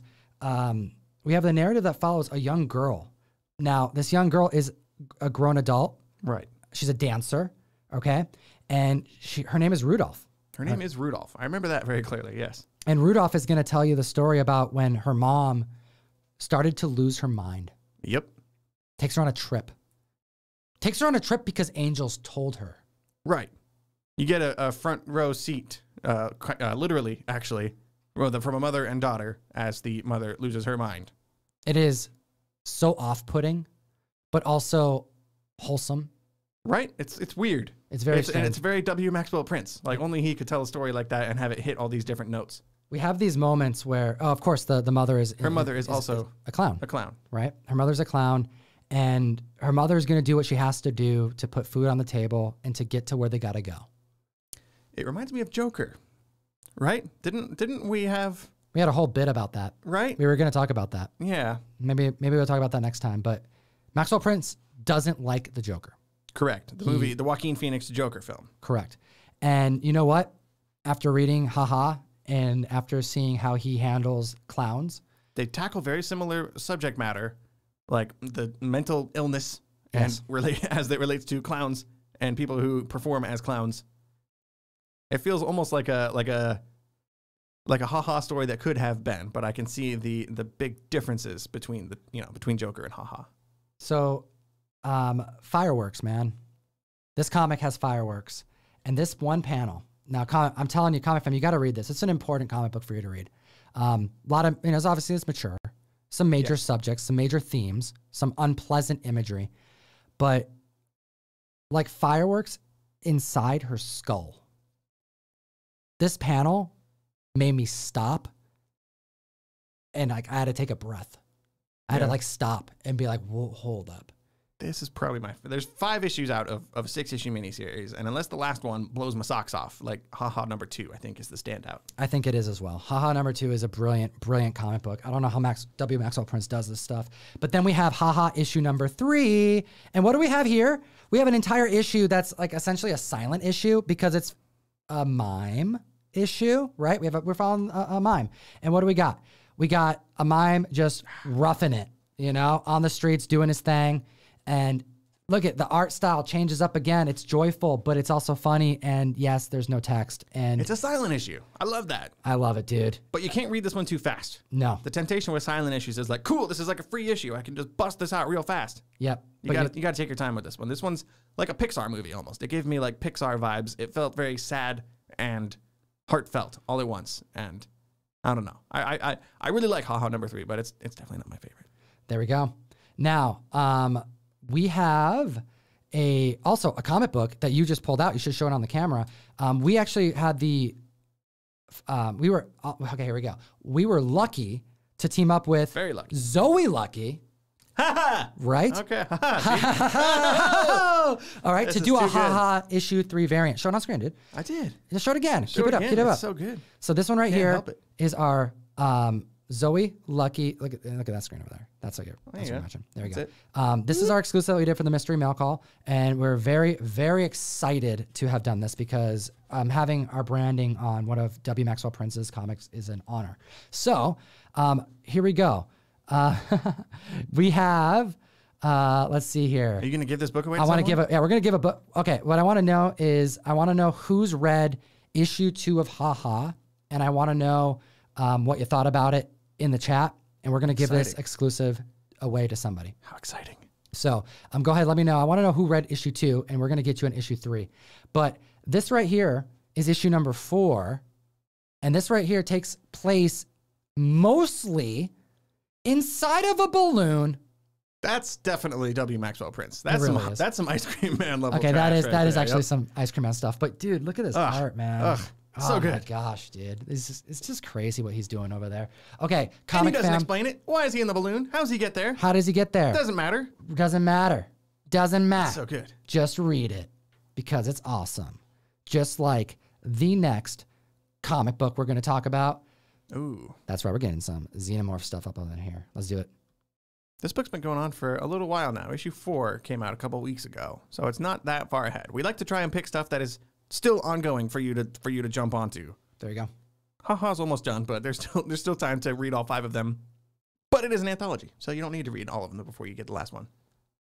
Oh my goodness. I got it. Comic Journey. There we go. Comic Journey just won his exclusive. Congratulations, brother. He said he read Haha too, and it makes you feel uneasy when reading it. Yeah, but that's what I love about comics, man. So now you get Haha three, There you just go. Just like that. Just like that. That's how you do it. You got a comment, comic fam. All right. So we have Alien going over to Marvel. And as someone who read the Dark Horse stuff when I was in high school, Oh wow, oh my gosh, it's been that long, dude. We're talking like 12 years ago. I was gonna say so like three Dude, years no, ago. d- three years ago, right now. So funny little. because I'm so young, right? Yeah. No, no, no, no, no, dude. When I was in high school, I'm talking like a long time ago. Right. Like I was like, dude, I was on PE, and for whatever reason, we had like PE, but right before PE, they make us sit on the floor for reading period. So we would read for like 35 minutes. It was a weird amount of time. It was like In whatever they could.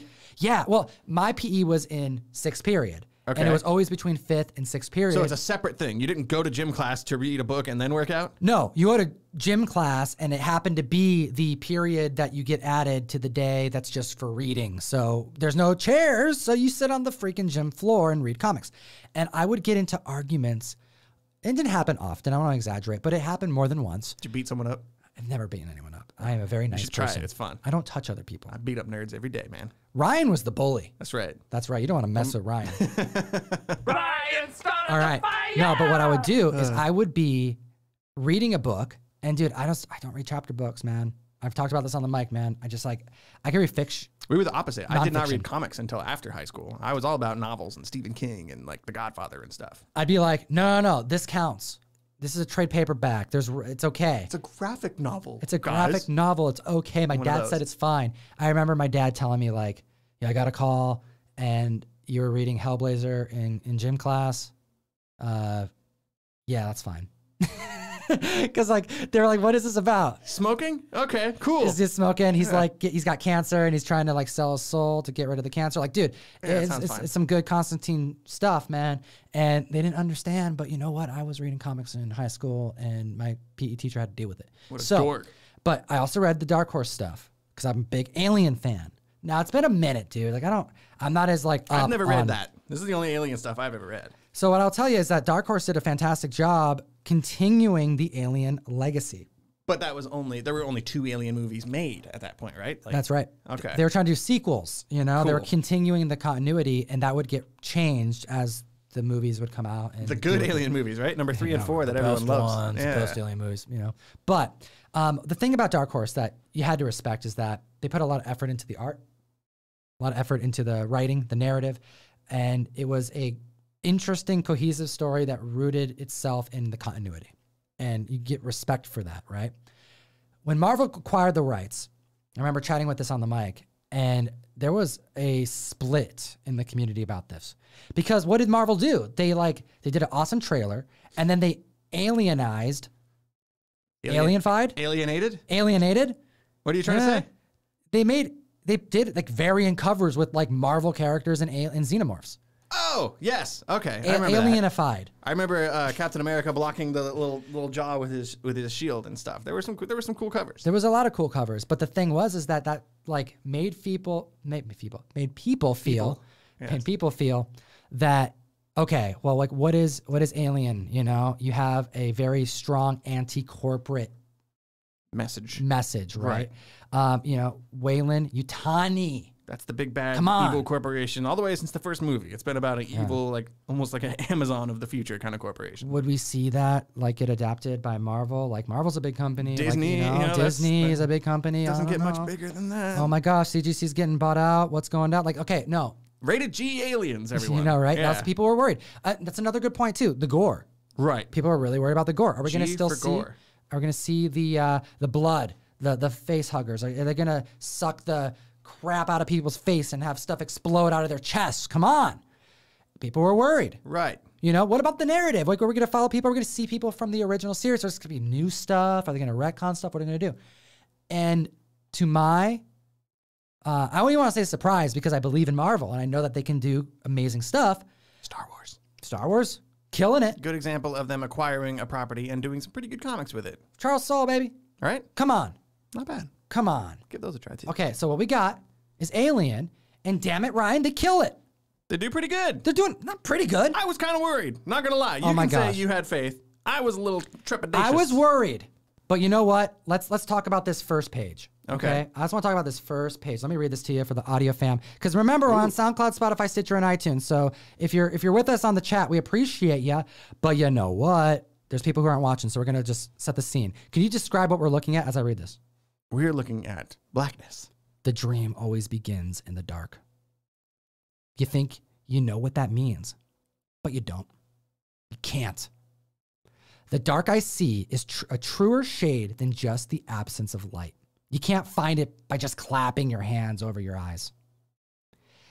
Dark like this gets you, excuse me, dark like this gets into you, penetrates you, tightens around your skull, presses into your eye sockets until something pops, and even the memory of light, even the belief in light, drains away Creepy. creepy. This right here is someone in space. This right here is the story of somebody new in the Alien franchise who experienced something in the past that he overcame and now is a very well renowned person who's part of Weyland Yutani. Right. They have this space station, and the main character of this book is the head of security at this space station.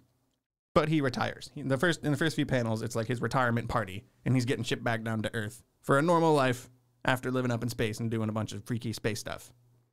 This is 20 years after James Cameron's world. Right. This takes place 20 years after 20 years after Aliens. That's right. This is the memory that he has. Yes, he had some bad things happen to him in the past. We don't really see a lot of it, but what we do see is pretty scary. This is a two-page spread with a whole bunch of aliens, we see we actually see like what I'm, appears to be some type of like female anthropomorphic looks more human than any other alien we've ever seen. The, the word alien, the word queen, unfortunately, applies to a different thing in the alien universe, but this appears to be a like a literal queen, like a female ruler of the aliens. it almost looks like there's a hive or Yeah. a cave or something that they're He saw dwelling in. something creepy. I don't Yeah. know what, but this drawing is excellent too. Salvador Larroca does the art for Alien. Dude, Salvador Larroca is a beast. He draws these guys very, very well. That's right. And this comic book follows uh, this person here. His name is Gabriel Cruz, Right. and he's actually dealing with the android from the from the movies. From Bishop. That's Bishop, That's man. Bishop, Yep. man. And Bishop is there to as his like uh, therapist a bit. He's kind of a therapist on this Yeah. on this space on this uh, space station. kind of fitting, right? It makes sense. Okay, so he's dealing with his troubles from his past. And this narrative, we're not going to get too far into it because we want you to check it out. But he's retiring. Right. He's people love this guy. He's done a lot of good. He made this part of the company what it is, and he's got a son. He's got a son who is not happy that his dad works for the big bad evil corporation. Unfortunately, his son is a part of what you could probably call like a like a terrorist organization. Like a Minutemen type group. Their goal is to kind of destroy this company, I guess. And his dad just so happens to be a high-ranking security member of this company.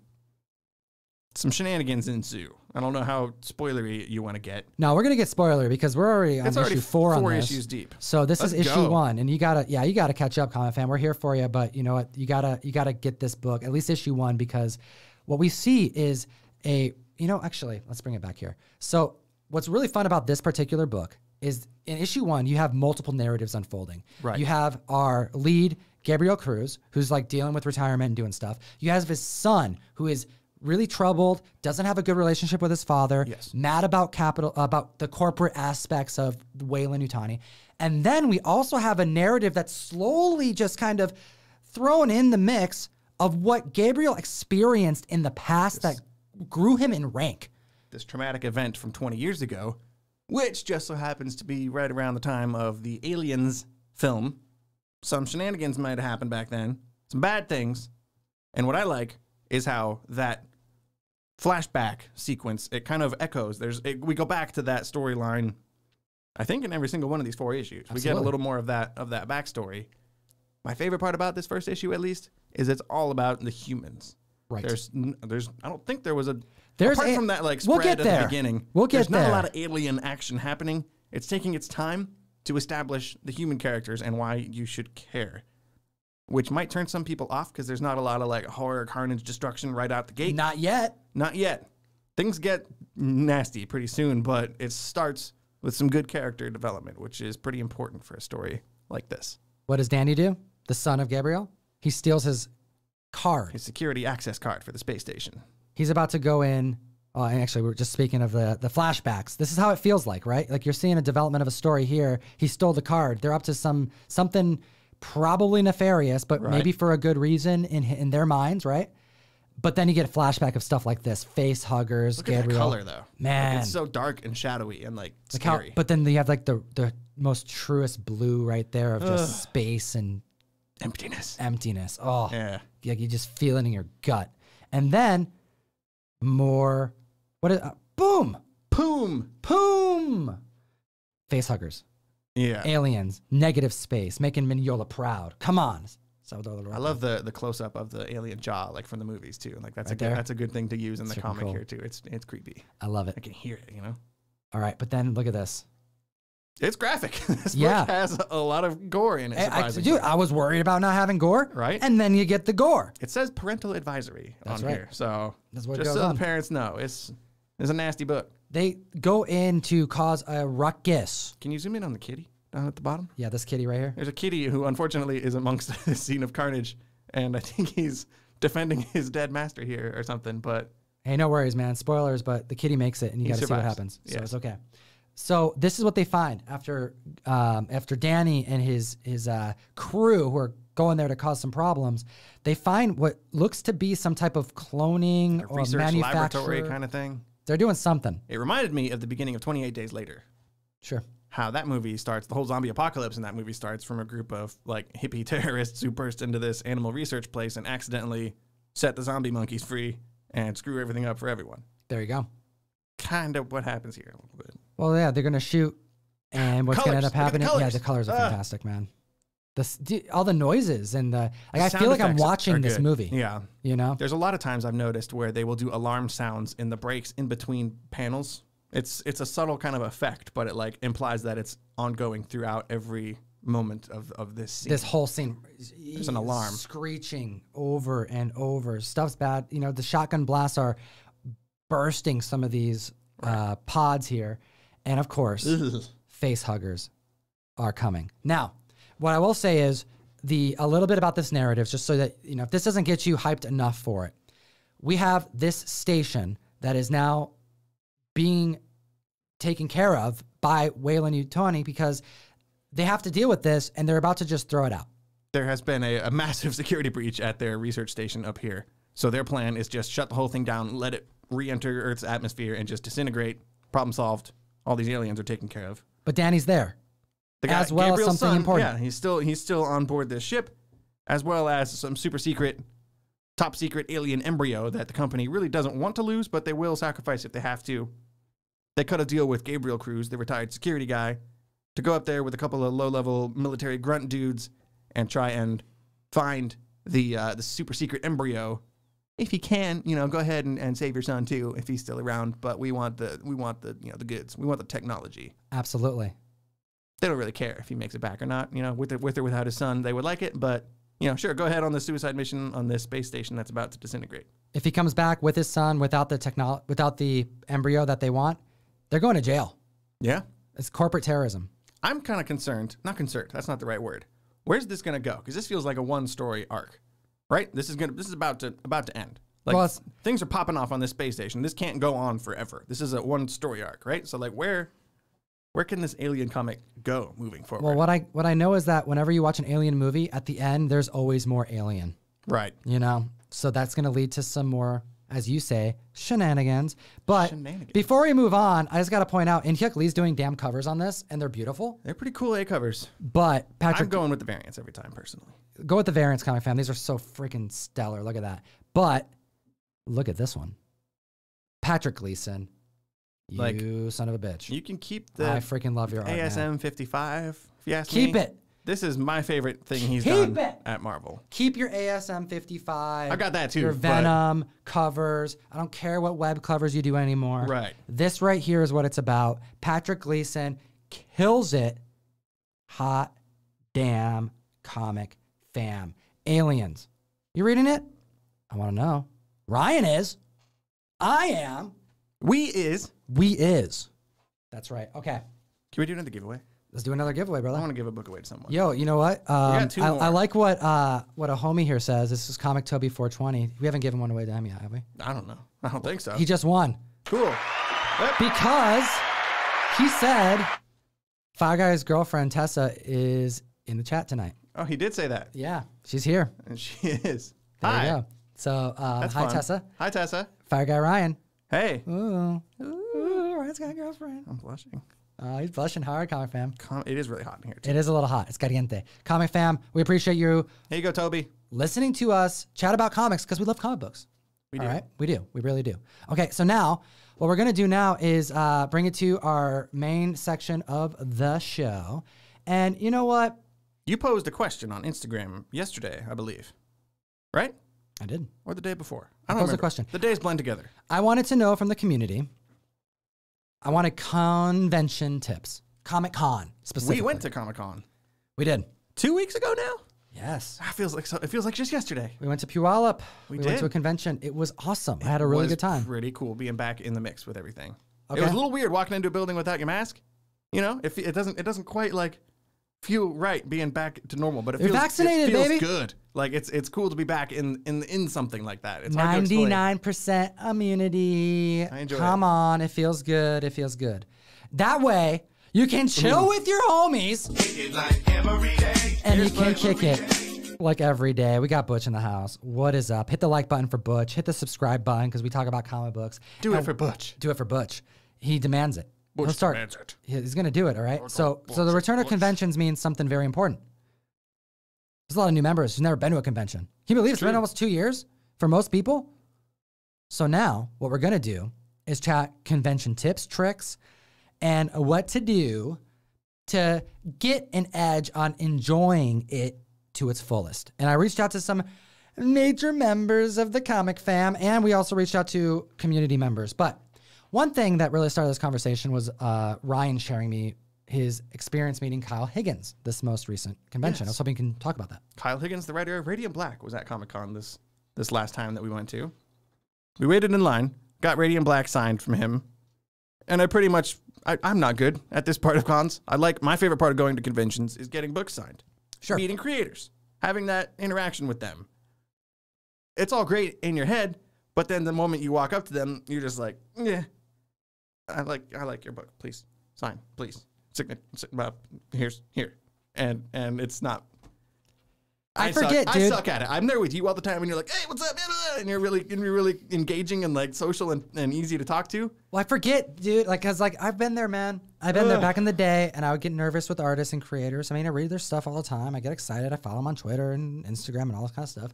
And I realized, oh, it's just practice over and over again, waiting in line, meeting people, and just getting that that confidence to just treat them like a person. You know? They're people.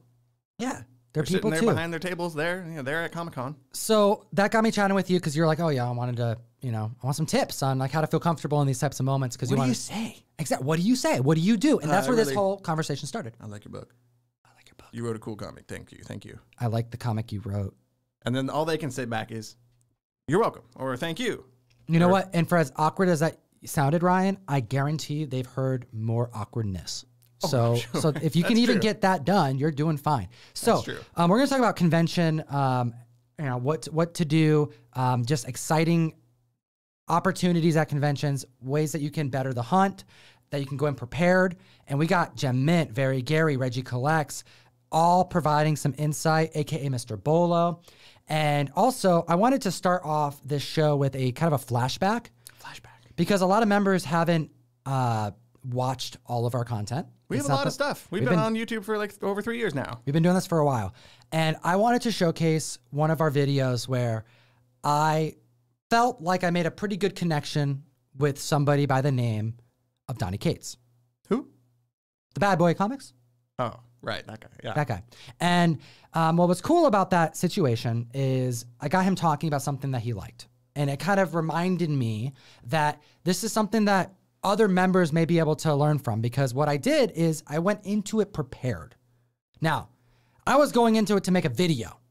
So your boy had cameras out and, you know, it was all planned out. Maybe we can set the stage a little bit because we're going to show you a clip from a blast from the past. Oh. It's only going to be a two and a half minute clip. It wasn't very long, but It's a thing. It's a whole video if you want to. If you want. yeah, if you want to check it out, it's uh, Donny Cates needed an, a comic book, Emerald City's Comic Con 2019 vlog, and we're acting a fool. I think in this video uh, we tasted some Hellboy beer. we did. That was kind of fun. And in this video, I gave Donny a comic book because I wanted to get him talking about something I knew he would like. And I knew it'd be a fun time and it made the experience really fun. So I want to talk about that. Um, so, in order for us to get this footage, what we had to do is wait around for the best opportunity. And we had to wait for uh, Donny Cates to leave his area and go around the table because he was being such a nice guy and walking around and taking pictures with people. So we thought, well, if we want to get some good audio, because hey, we were a brand new channel, we didn't have the best equipment, we got to get kind of close. So um, this wasn't like he didn't know that this was happening. He gave us permission to post it after the fact. Sure. Um, this was orchestrated to happen, but Tom is a genius. hey, doing what I can for the comic fam. It- I'm that- not a genius. the inspiration only happens because of the community. So, um, what you're going to see here is us giving Co- Donny Cates one of his favorite comic books, and we will see you in one. Actually, no, dude, we're going to be on the screen with them. Why don't we? We'll watch too because I haven't no, because I'm worried about the. Uh, we, we will watch too, but I'm thinking that it would Give them the full picture. I'm going to give them the full picture because, um, yeah, we'll give them the full picture. Here we go. Let's see here. And that's uh, Katrina Fox. Shout out. Shut up. We'll be right back. So this is what we got. Donny Cates spiked a handful of books last year, yeah? They're gonna carnage. Mind bomb. Right off the bat. Yep. He doesn't own a copy of Carnage Mindbomb. That seems odd. That seems very odd to me. Let's fix that. Alright, hey. How you doing? You What is this?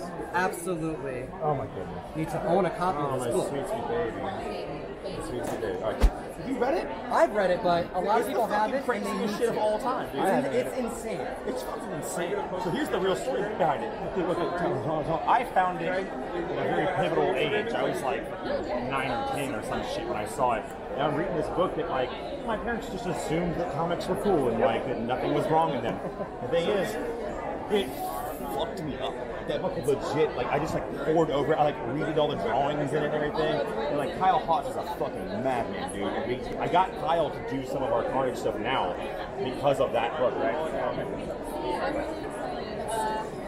Yo, I'm just gonna read this shit. I'm not even gonna be able to take care of it. So. Is that, Dude, it's your. does that hurt this your is your feelings? copy, man. I roll shit up I in don't my care. pocket. I, I brought this, and I'm like, you know, what? the off chance that you still don't have a, a copy. Look at oh my god. It- it- okay. it's, the, It's it- like hard it's to the look mind at, of dude. a serial killer. Yeah, dude. He like this is a Parent's nightmare.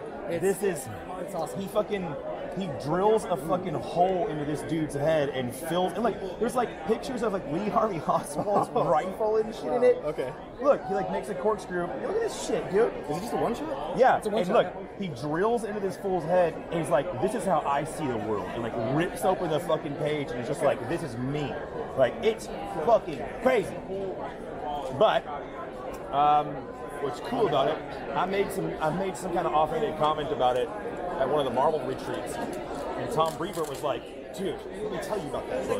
He was like, I edited that book. I almost got fucking fired. Because Bill Jemas, who was their editor in chief at the time, was like, um, I want you to do, I want you to make an, an R, like an R-rated Carnage issue. Because Carnage was real hot, hot at the time, right? But Bill was like, all right, that's what you want. And he hired fucking Ellis, who is not the dude that you want to tell to go crazy to. So he got Ellis to come in and Kyle Hotz, and then this issue came out and went to the fucking printer, and Jemas saw it and was like, "What the fuck is this?" And he was like, "Isn't that what you wanted?" And he was like, "No, fuck." And so like they they they tried to pulp the entire run, but it was too late. It, went out. And then, and then little Donny Cates got it. found it. And then, uh, Yeah. so is that one of the things that kind of like set you on that path? Because I know Venom was a big influence. Huge influence, yeah. Um, I never wanted to be in comics, man. I never wanted to do. These stories from like that you wrote when you were a kid, right? It's all in your head. Yeah, but I never, I never thought about. I never actually do this. It's fan fiction. Like, That's I remember I used to. I remember I used to tell my friends because I was like the comic book dude. I used to tell my friends just like made up facts about me. Like, uh, I would say like this green slime is because that's how the symbiote processes like bullets and stuff. Like, like breaks it down. That's the green slime. And here's the thing: all those were lies, but now they're all fucking canon. So I wasn't lying back then. I was just ahead of my time. Dude, Venom has wings because of you, not because of Rune. Does a what? Oh, room. Yeah, that's right. I know they. Uh, absolutely. Comic fam, that was a little bit of a, a blast from the past, as we like to say. We're coming back right now. Boom. Oh, the cat is here with us as well. I'm just So- glad there were subtitles. I had, that was yeah, a mess. it was a yeah yeah. It was kind of hard. It was kind of hard to hear. I hope the comic fan was able to enjoy that. Um, and if not, if you're listening to it, oh, don't have him do that, man. You gotta kick him off. He's gonna he's gonna be, make noises on the mic. Poor Butch. Oh, poor Butchka. He's just he wants attention, man. We've been on the mic for an hour and 41 minutes, comic fam. Where are you getting this kind of comic book themed content? Where does the time go? Anywhere. Oh my But gosh. seriously, you guys should go check out that video. That was a lot of fun. I'm glad we made a video of one of my earliest cons. You know what? We um we have a lot of good uh, good experiences from that one particular situation. We learned a lot, but it was also a good example of hey, these creators are people too. They want to chat about things they like. Just give them an opportunity to talk about stuff they like. So let's go through some tips and tricks for the con scene. Man, that was a that was a fun one though. I really enjoyed that time that we had uh, doing that. And shout out to Donny Cates for you know being a chill dude back then and wanting to be on the show. Only back then? Only back then. Not now? Not now. You don't want to lost be on. his, he's lost his chill. I don't know if he's lost his chill, but you don't He want can to be still on the write a show. comic, which is all I need. Yeah, man, that's all we need, brother. That's all we need. Here we go. Um, this is from. Um, actually, we can put these on the screen here. Put them up. We can put them on the screen. All right, we're talking um, recommendations by the comic community. All right, so the first thing that we're going to talk about here is from Beebs Collectibles. And what does Beebs. Beebs say? It's the Beebs. The Beebs. Prepare your books ahead of time if you're getting them signed by an artist. That's right. This is a great, great suggestion. Thank you, Beeps, for um, leaving that there because the last thing you want to do is have that moment that you could have with the artist or writer and then spend it fumbling through, taking things out. Or I've had a book where I handed it, I just handed them the book with no indication whatsoever. Please sign here. Please use this color ink or whatever. they signed with a black pen on a very dark section of the book. You can barely even tell anything's there. Can't That's my it. fault. You know, I didn't hand them a certain pen. I didn't say, please sign right here. You can you can very easily fix those before they happen. That's a good point, man. We're gonna get into that. Actually, why don't we do that right now? Um, I have a really nice tip from AKA Mr. Bolo. Mr. Bolo. Mr. Bolo. Um, you know him from IG and um, oh, you know what? I thought I had him up here, but I don't.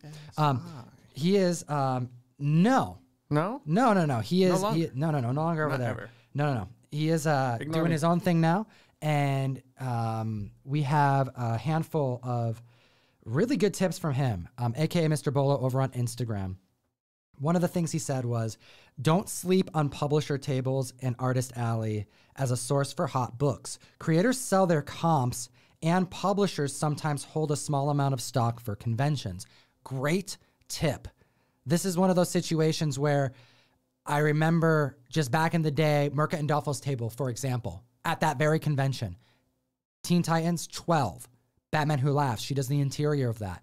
The book was sold out. The book was spiking. It was spiking for like 20% of what it's worth now. And she had copies. She gets artist copies. She was selling them at her table for a very reasonable price, and anybody could have gotten it. So here we go. Um, we have another tip here that just needs to be read. Shout out, aka Mr. Bolo. If looking in dollar boxes, don't sleep on the boxes on the floor. Now, don't like. He's not talking about physically sleeping. Don't take a nap at Comic Con. No. Did anybody say that? no one said That's, that. that's a good advice. He's like, don't sleep on the floor. No, no. no. Um, other people don't want to bend over and squat, making those boxes frequently less searched. I have never done that. I've seen them on the ground, and I'm like, I'm not doing that. I don't want to get on the floor, a dirty, dirty con floor. You know what? I recommend if you're going to be hunting, which you should, you got to hit the con floor, especially if you go to a convention and I'm there, you can join me. You know, a lot of people like chatting with me on the con. That's cool. But I'm going to tell you, if you're if you're chatting a lot, that's cool. We can keep the conversation going. Let's do it over some long boxes. All right? Let's hunt for some comics together, you know? Less people like talking to me. Well, you haven't been to very many cons, right? That's true. Been COVID. Everyone's brother. like, Fire Guy, right? Oh, hey, Tom. there you go. That's fine. I like anonymity. There we go. Well, you know what? You're able to secure things by searching for them Look where other people aren't looking. where they're not looking. On the floor. exactly. All right. Here's another tip. Um, bundling up your purchase. Like if you grab more than one thing, you're likely will get a lower deal or get a better deal, lower cost from a dealer. Buy more than one thing together at one time rather than just one comic and then hoping for a bartering session to happen. Right. I feel like you're more likely to haggle effectively if you bring a bunch of different comics and maybe negotiate a discount because you're buying multiple things. That makes sense. Exactly. Here's another one from the comic fam. Um, and I, I mean, very, very simple, but very good. Just go. They're fun, and your artists and vendors need you. That's another good way to look at it. Like, and that's from Compact Studios. Oh, Compact Studios. Shout out Tim Hyde. That's really cool. Um, we have a convention scene where a lot of dealers, writers, creators, and publishers spend a lot of money to be there just so that you can meet them in person. You know, will you be able to buy something and support them? Obviously, that's the goal. That's why they set up. They want you to support. I live in the city, so you may be able to hear that as well. Some sirens. They're coming for us, Tom. Oh my gosh, run! Oh, it's my uh, Grab the gold. the duplicate. No, uh, Well, okay. no, but really, that's good advice. Like there have been, like, like there's been cons going on my whole life. You, I, I, I drove you to Comic Con one time before we started this channel that's true. because you knew I wasn't going. you were like, Ryan, if you're not gonna go, can you drop me off at the con because parking is a nightmare, which is a whole nother tip. Get someone to drop you off because parking sucks. I drove you there. I could have gone. I was just like, yeah, I don't want to. That's the whole thing. It costs money. It's hot and sweaty. I just, I would rather stay home. There you go. But that's bad. That's bad advice. Go to the con. Yeah, for the very least, like give it a shot and then support the industry that you are actively part of. If you like enjoy. comics, there's a good chance that some creator you know will be there, and it's a good opportunity to meet some people. All right, here we got another one. Um, Collector Kev07. Get there early to avoid those long signing lines. I waited five hours for Stan Lee. Oof, Worth it. That's true. You can't do that anymore, unfortunately. Unfortunately, not. And this is one of those things where it's like, it's a great tip.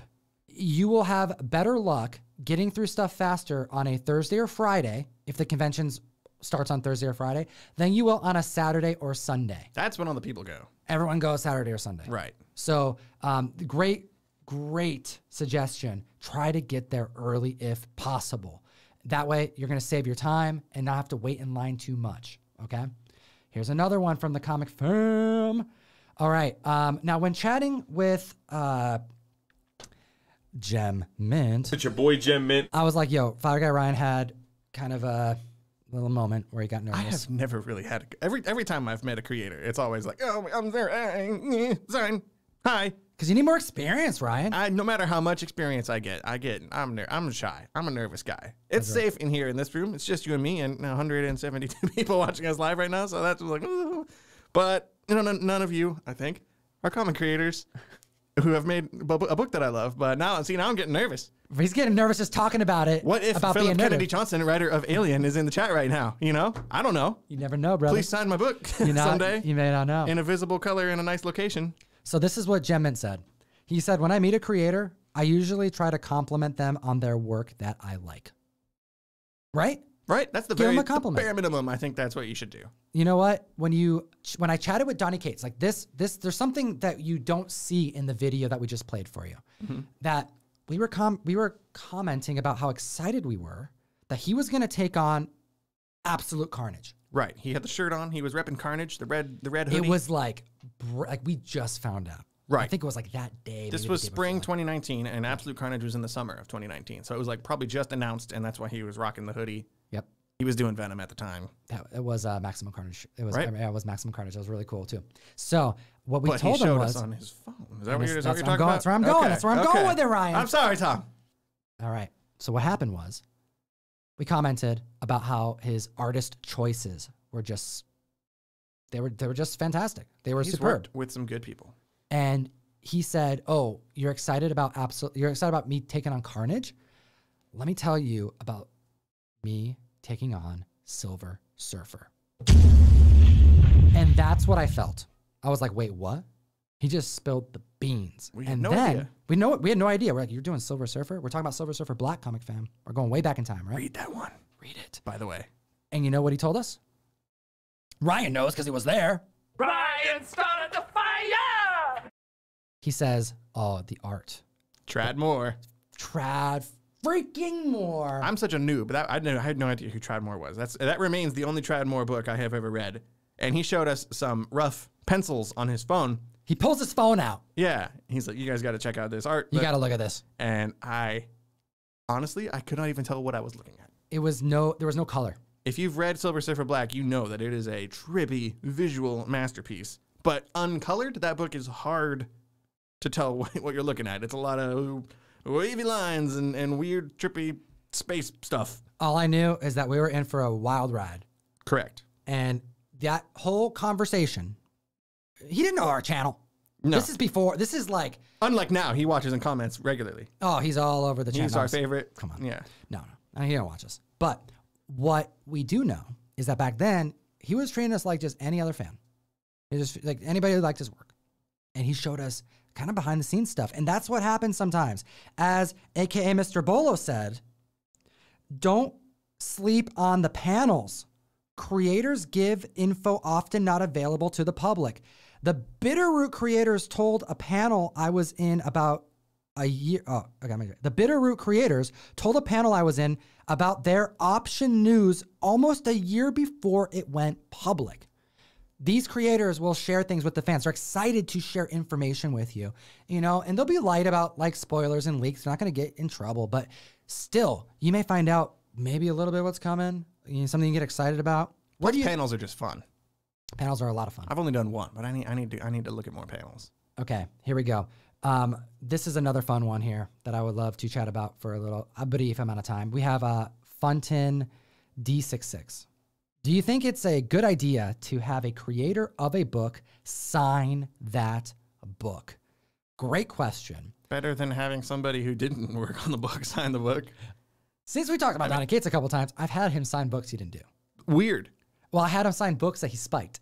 I thought it would be Okay, funny. I had him sign the Rune book where Venom gets the wings because he, Okay. you know, made that happen. And I, the the first uh, Cyteract Doctor Strange book because Strange forty four where Siderek is introduced, right? Because he was making that a thing again. So that was fun. But yes, traditionally, have them sign a book that they did. And I think that's an awesome thing to do.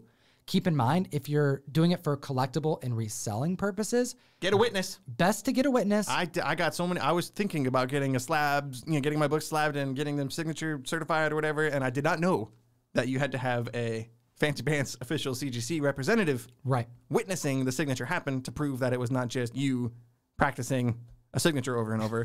Like Ryan Hotley's signature just says Ryan. Yeah, that's it. and I've written that name a lot because that's my name, and I feel like with enough practice, I could I could maybe copy Ryan Hotley's signature. But you would never do that because that would be unethical, Ryan. It would, and I would screw it up. Yeah. And you're, I you're- could write Ryan on a bunch of my comics. There you go. It's just Ryan. Fire guy Ryan. Fire guy Ryan, what's up? Um, so, uh, considering that, I would say there's a handful of reasons why I like a creator signing a book. If it's a raw book, it's totally cool.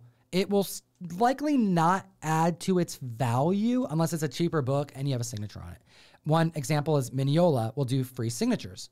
He's all about hooking up members of his community with free signatures.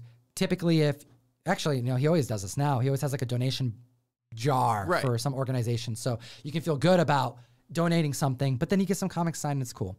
And you, there's a lot of cheap Mignola covers and you can get something signed by Mignola. That's awesome. Sometimes an artist or creator will ask if they want to sign your name on it. Now, for resale purposes, kills the value. Don't do that. Don't do Yeah. that If you're trying to resell it. if you're trying to resell it. It's something that sometimes in the moment I'll say, make it out to me. I will ahead. do that I will keep this book forever. because that will force me to keep the book forever. I have some art, original art that's like, you know, you get the bug, man. You get you get excited about something. You want to upgrade. You want to you want to get a key book or something like that. But then it's like, you know what? Some things belong in the PC. Let it stay in the PC. I have an Andy Suriano Hellboy sketch, and he asked me in that moment, "Should I make it out to Tom?" And I I couldn't like in that moment. be No, like, I'm gonna sell it I may sell this one day. Yeah. I was like in my, in my like in my stomach. I just had such a great experience about it, and I'm like, you know what? Make it out to me. Yeah, Tom. So like it's it's up to you, you know, to each their own. But there is an aspect of personalization that I don't know, man. It does something for the PC that makes it special. You remember that time, and I don't know. I don't know if that helps. It depends. You know, it's You very know? it's very personal whether or not you want to get a book signed or not. Okay, here we go. We got another comment here. Uh, bring cash money. This is from Logan Sch- Schweigert? Schweigert. It's a cool name. Bring some cash money. Yes, money. It helps so much when you're buying a big book. Now, There's a, a couple reasons I would recommend bringing cash. yeah, cash ca- cash goes a long way. Dealers will be very happy with it. Not a lot of people I I don't know because I've never used a card, but I imagine not a lot of people are ready with those little square reader things to like process credit card payments. Right. That might that might maybe I would be more willing to uh, foolishly overspend on a stupid book with it. You know, I can use my credit card and I'll pay Right. it in 30 years, whatever. But I found when I went to this con last weekend, I hit up the ATM on the way and I took out like $120. And that was it. Like I, I told myself, I, this is it. If I spend this money, that's it. I'm done. I'm not. That's my budget. Sure. So that kind of helps you set, you know, your your limit. That, that was my thought process. I like that. That's a good And way to worked. to give you a cap. Know what your limit is. Also, bring somebody who's willing to buy you big boy books for you. you don't have to spend your money. There you go. That's a whole nother story. Helping you out, my brother. Got to get you some cool books, man. Thanks. You know how I love you, brother. All right. So, um, yeah, cash money does go a long way. It'll help you on bartering, like, you know, just working out deals. And you'll be, you'll be grateful that you do, um, especially because the ATM fees and things like that. Right. So, um, highly recommended. Okay. What's this right here? Um, I have, oh my gosh, Reggie from Reggie Collects. I freaking love this dude. Reggie, I love him, but also he scares me so much. He scares you? He's so scary. Why does Reggie scare you? Because he, like he's so like like we were saying before, he's so confident and suave, you know. He's and such I'm, a, I'm, I'm such dude, a shy you wanna guy. know what, who, like, want to know something about Reggie? Huh? That dude's a man. Yes. You know what I'm saying? so many- like, it's a weird thing to say, but he's a- nobody in the chat's gonna be like, they- everyone knows what I'm talking about. He's a family man, you know. He's successful. He's got a big boy He's a job. father. He's ripped to shit. He's just ripped to shit, dude. He's just. and he's got this like personality, you know, when he's talking on a stream or on a video, he's just so him, like happy and earnest and engaging. And I just like, eh, I've never done a live stream with Reggie. I don't think I have anyway. You got it, comic fam. You gotta follow Reggie. Collects. Reggie collects with one G. That's right. That's an important thing to clarify. Yeah, it's Reggie collects with 1G, and um, he's been a solid member of the comic fam for such a long time, a friend of mine for years now, and he provides such just authentic and good-hearted content. He cares about the community. Like he really cares about the community, and a lot of people do. There's a lot of members in our community that are really good friends of us. We got Gem Mint on the line. You It's know? your boy Gem Mint. Of course, we got Bueller. We got Very Gary. We know we love all these guys. Reggie is one of them, and you should go follow him. And he gave some very good tips. So here we go. Let me read you some things that Reggie said. Um, when you're meeting an artist, you know, because again, we want to want to give you guys something to talk about, an artist or, or writer. Okay, think about your question or questions ahead of time. Organize them in your mind so that it's the most important. So the most important is asked first. After asking your question, listen to the answer. Be in the moment. Put another way, don't be overwhelmed with everything that's going on so you miss the experience. This right here is the most, like one of the most astute observations that he just laid out perfectly because that's what Reggie does. He's good at that. But yeah, I've been there where I'm like, I'm going to ask him three things, four things. And I'm just like, I said it. You're And- thinking about number two thing to ask him. You're not Yeah. listening to the response to number one. Yes. You're missing the whole thing because you're caught up in your head trying to like organize yourself because you didn't do it while you were waiting in line for 20 minutes. Exactly. And that's exactly what you want to avoid. You want to enjoy the moment that you have. You just waited in line for that time.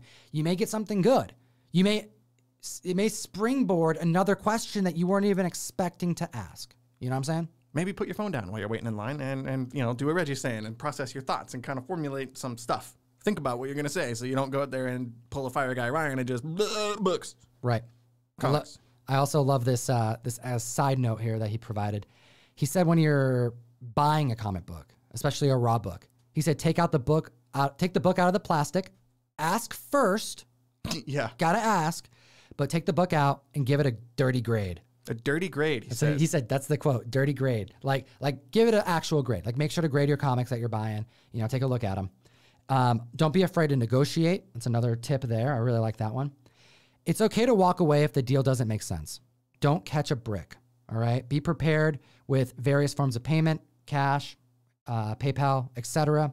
And shop around for deals versus buying the first book you see. All very He's got such a clear way of of saying such good advice. I feel like he should have a YouTube channel or something where he talks about comics to people and like explains some of this stuff, you know? Or, It's literally what Reggie does, man. He goes on the line and oh, just oh, right, he chatting. does have a YouTube channel. Reggie collects. Yeah. You know what else he does? What else he has? He's got a foil variant. Oh my gosh. Okay, comic fam. You know that, you know, of course, you know, we, we, we do comics here. A lot of our, our, our homies in the community, you know, Bueller and Very Gary and Gem Mint, we all have stuff to offer to hook the community up, trying to get you guys value, but in ways that you can support what we do. This right here is a 500 print foil comic book that Reggie Foil. is releasing. It's on pre-sale, and you know I'm gonna hype this book and chat about it because he's my homie. It's a moment of pride. I'm know? very proud of him, man. Yeah. You know what? It's a foil book. It's a it's called Slow City Blue, number one. It's the Reggie Collects fence variant, limited to 500, available at reggiecollects.com. Books are expected in September. The cover is by Patrick Olliffe, and the narrative actually is like gonna put this on our show eventually. You know, this is a uh, a narrative that takes place in the mind of this person in a world that is made up in his head after something tragic happens, after an infliction that he put upon himself. Oh my gosh. ReggieCollects.com. Support a fellow member. If you're if you're a fan of Reggie, I mean you're you're already going to be getting it. But I also want to showcase this book for anybody here who's interested in it. Um, you know, we're, we're good friend we're good friends as well as fans of, of what he does, and he provides so much value that he deserves some time on the mic. So shout out Reggie. Okay, here we go. Here we go. Okay, what is this one? Okay, this one right here. Uh, this is a question that someone asks when they see a creator. Terry JSA. Do you charge for signatures? Is my number one question when meeting creators. This is one of those, That is something to consider. It's hard to ask that kind of question. you know what? Don't be shy to ask especially because this is definitely one of those polarizing situations in the community because there's a lot of people who don't believe they should have to pay for signatures. I am of the opinion that you should char- that you should charge for signatures, but it should be very clear what the situation is. Put up a sign, you mean? Like let people know while they're in line? So Yeah. you don't spend all time all your day waiting in line and be like, oh, I charge twenty dollars a book or something. Yeah, I mean, there was a, you know, and okay, so one thing here that I'll say that really bugs me. Okay, I, I don't think I think it's fine if someone says, "Hey, it's a you know Fiona Staples, for example." Ooh, I love Fiona Staples. She's like one of my favorite artists of all time, my brother. Just off Saga alone. Off Saga alone, that's all I need. We have, um, and when I went into her line, you know, did did the whole thing. It was like she'll sign three comics for free, and then everyone after that was five dollars. Okay. To give you some perspective of pricing here, comic fam. Now we're about to go into a post-COVID world here. These people haven't been to conventions in years. Yeah. If they want to charge more than five bucks, pay it. If you if you can afford it. Yeah. Surprise, conventions are expensive. It costs sixty to hundred dollars to get in for the day, and then you're gonna pay for food, and then you're gonna want to buy stuff. So you know what? If an artist wants five or ten bucks, pay the artist. They also have to pay to set up there, don't they? Don't Yeah. They? Okay. I didn't know that part because I've never done it, but I believe you have to pay money to have a space at a convention as a creator or a vendor of any kind. Absolutely. You know, so I, I feel like it's like nothing wrong. Now, I have been in lines with people who said, yeah, it's free signature or it's $5 a signature. Unless you're getting something graded, then it's $20. Go sleep outside. Go wash your face. I do not like that. I'm looking for. I'm thinking of like. Are those go, things people I don't. I don't know. I don't know. What are what are things people say? Go wash your face. Apparently, I don't know. It's good I don't know. advice. Like what, what? What's? I'm trying to think of something mean to say that isn't mean, but you know. Oh. Like like I don't know. You lost me. Go eat some crayons. Yeah. You know. Uh, You? insert insert weird term that I'm trying to think of here. We've got Moving for on. two hours. Moving on. Tom. I know. Moving on. officially I mean, like mind. for real though. Like, uh, what is that? We're Hmm. gonna grade a comic book, so now you're gonna charge me more? No, that's hogwash. All right, that's garbage. Yeah. This is trash. That's what it is. There you go. All right. Now, charge for signatures. But if you're gonna ask me what I'm gonna freaking do with it, because I'm gonna grade it, you don't know what I'm gonna do with it. I'm gonna put that on my wall. I'm gonna put it up on the freaking set and have people see it on every video. You don't know what people are gonna do with these comic books. Exactly. You know, just because you're paying more money to get a signature graded doesn't mean that you should have to pay more money for the damn signature. Charge for the signature that you're giving and be happy with that. That's what I. That's the only critique that I'll give That that I've. I've experienced because that, that bugs me, man. That really bugs me. But kick rocks. Thank you. That's that's the term I was thinking of. Kick some rocks. Okay, but we have um, you know creators that don't charge for signatures. Mignola doesn't charge. No, he does not. Matt Wagner, Took advantage of that a little bit. dude, he doesn't. Dude, I had him sign so many Alpha Flight comic books. uh, that was my first con. It was good. It was good. Um, you know who else doesn't charge? Adam Hughes. Oh God, don't get me Adam started. Hughes doesn't charge. Yeah. He also doesn't give you much time to Oh, no, nor interact. does he make eye contact or be nice. At least the one time I met, he was the very first creator I ever met at a con. So of course, you know, I I didn't say anything. I was. I don't think you would have gotten anything from him. Okay, so it wasn't me. He wasn't like, oh, so this guy's weird. I'm just gonna not Oh, look I at met him. Adam Hughes like three times, and every single time he didn't like look at me. He was a grumpy Gus. He wasn't, he wasn't grumpy. He's probably just like doing his thing, man. He does cons. He does a lot of signatures. Everyone wants a signature from him. He does a quick AH exclamation mark. I do like move his signature though. He's got a great signature. Ah! But You know, what I'm saying is, is that there are creators like Matt Wagner, Grendel. of course. Okay, come on. He doesn't charge, and he'll tell you in person, "Oh, I made that decision a long time ago." It's a, it's a, it's a personal thing. Oh, dropping my water. So there are creators like Matt Wagner who won't not charge you for a sketch. That's cool. How cool is that? I would imagine that kind of thing you'd have to pay extra for. Or Absolutely. Oh anything. yeah, you would expect to pay stuff for, but Matt Wagner's like, no, no, no I'll do it for free, man, because you're my you're my fan. So what I'm showing, I'm showing the community There's here is like, there's a range of of creators, and some of them are legends, right? And those legends, they're gonna do what they want to do. They're successful in their own right. We also have new creators that need to make money. They need to do. They're doing this for a reason. support them. If they give you free signatures and they have stuff out on the table, buy something. You know, don't take advantage. It's a nice gesture. But it's a nice gesture, okay? But also give some cred where credit's due because Matt Wagner does a sketch for you for free. That's freaking awesome. Yeah. You didn't have to do that. yeah, that's nice. That's really cool, right? Okay. Um, who else? Who else we got? Who else we got? I don't think that's our. Oh, you know what? That wasn't it, was it? Was that it? I don't think so. We're gonna keep it going. Ryan, we're gonna keep it going. That's good. Because I don't feel like we've been on on the air for long enough. We've only been going for two hours, man. Yeah, it's nothing. It's not. It's just nothing, man. We, we got. We got to keep it going. Okay. So this is from Very Gary. Oh hey, We know Very Gary, right? We He's do. a homie. he read Thor with us. He did. He did read Thor. We got to get him back on the mic. Comment fam, do you want to see any of these members back on the mic? Because you're my homies. And we can get chilling with your homies. You do just that. To a convention, when you go to a convention, Very Gary says, go with a list of what you want in hand I like that. or on your phone. Walking into a convention can be very overwhelming. It's easy to get distracted and miss out on the books you're targeting. Now, I will agree with Gary to one extent, but I'll also disagree on another extent. But I agree with him, really, is, is the bottom line. Sure. So go in there with what you want. If you want to get a trade, you want to get something special, you want to get go get an exclusive, yeah, you got to be on it. You got to go right to those tables. You got to go there when it's going to happen. If you want something at the Valiant table, you got to go to the Valiant table at the right time. Have an order listed of what you are trying to target.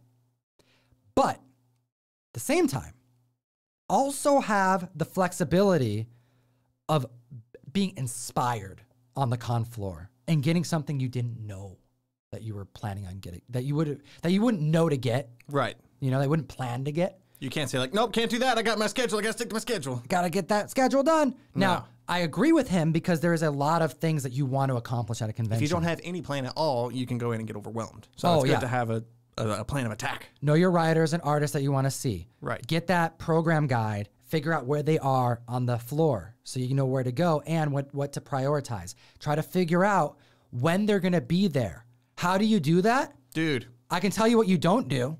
You don't walk to their booth every time. Dude, you know how large of a floor San Diego Comic Con is? No, You're walking like 20 minutes back and forth because there's so many people.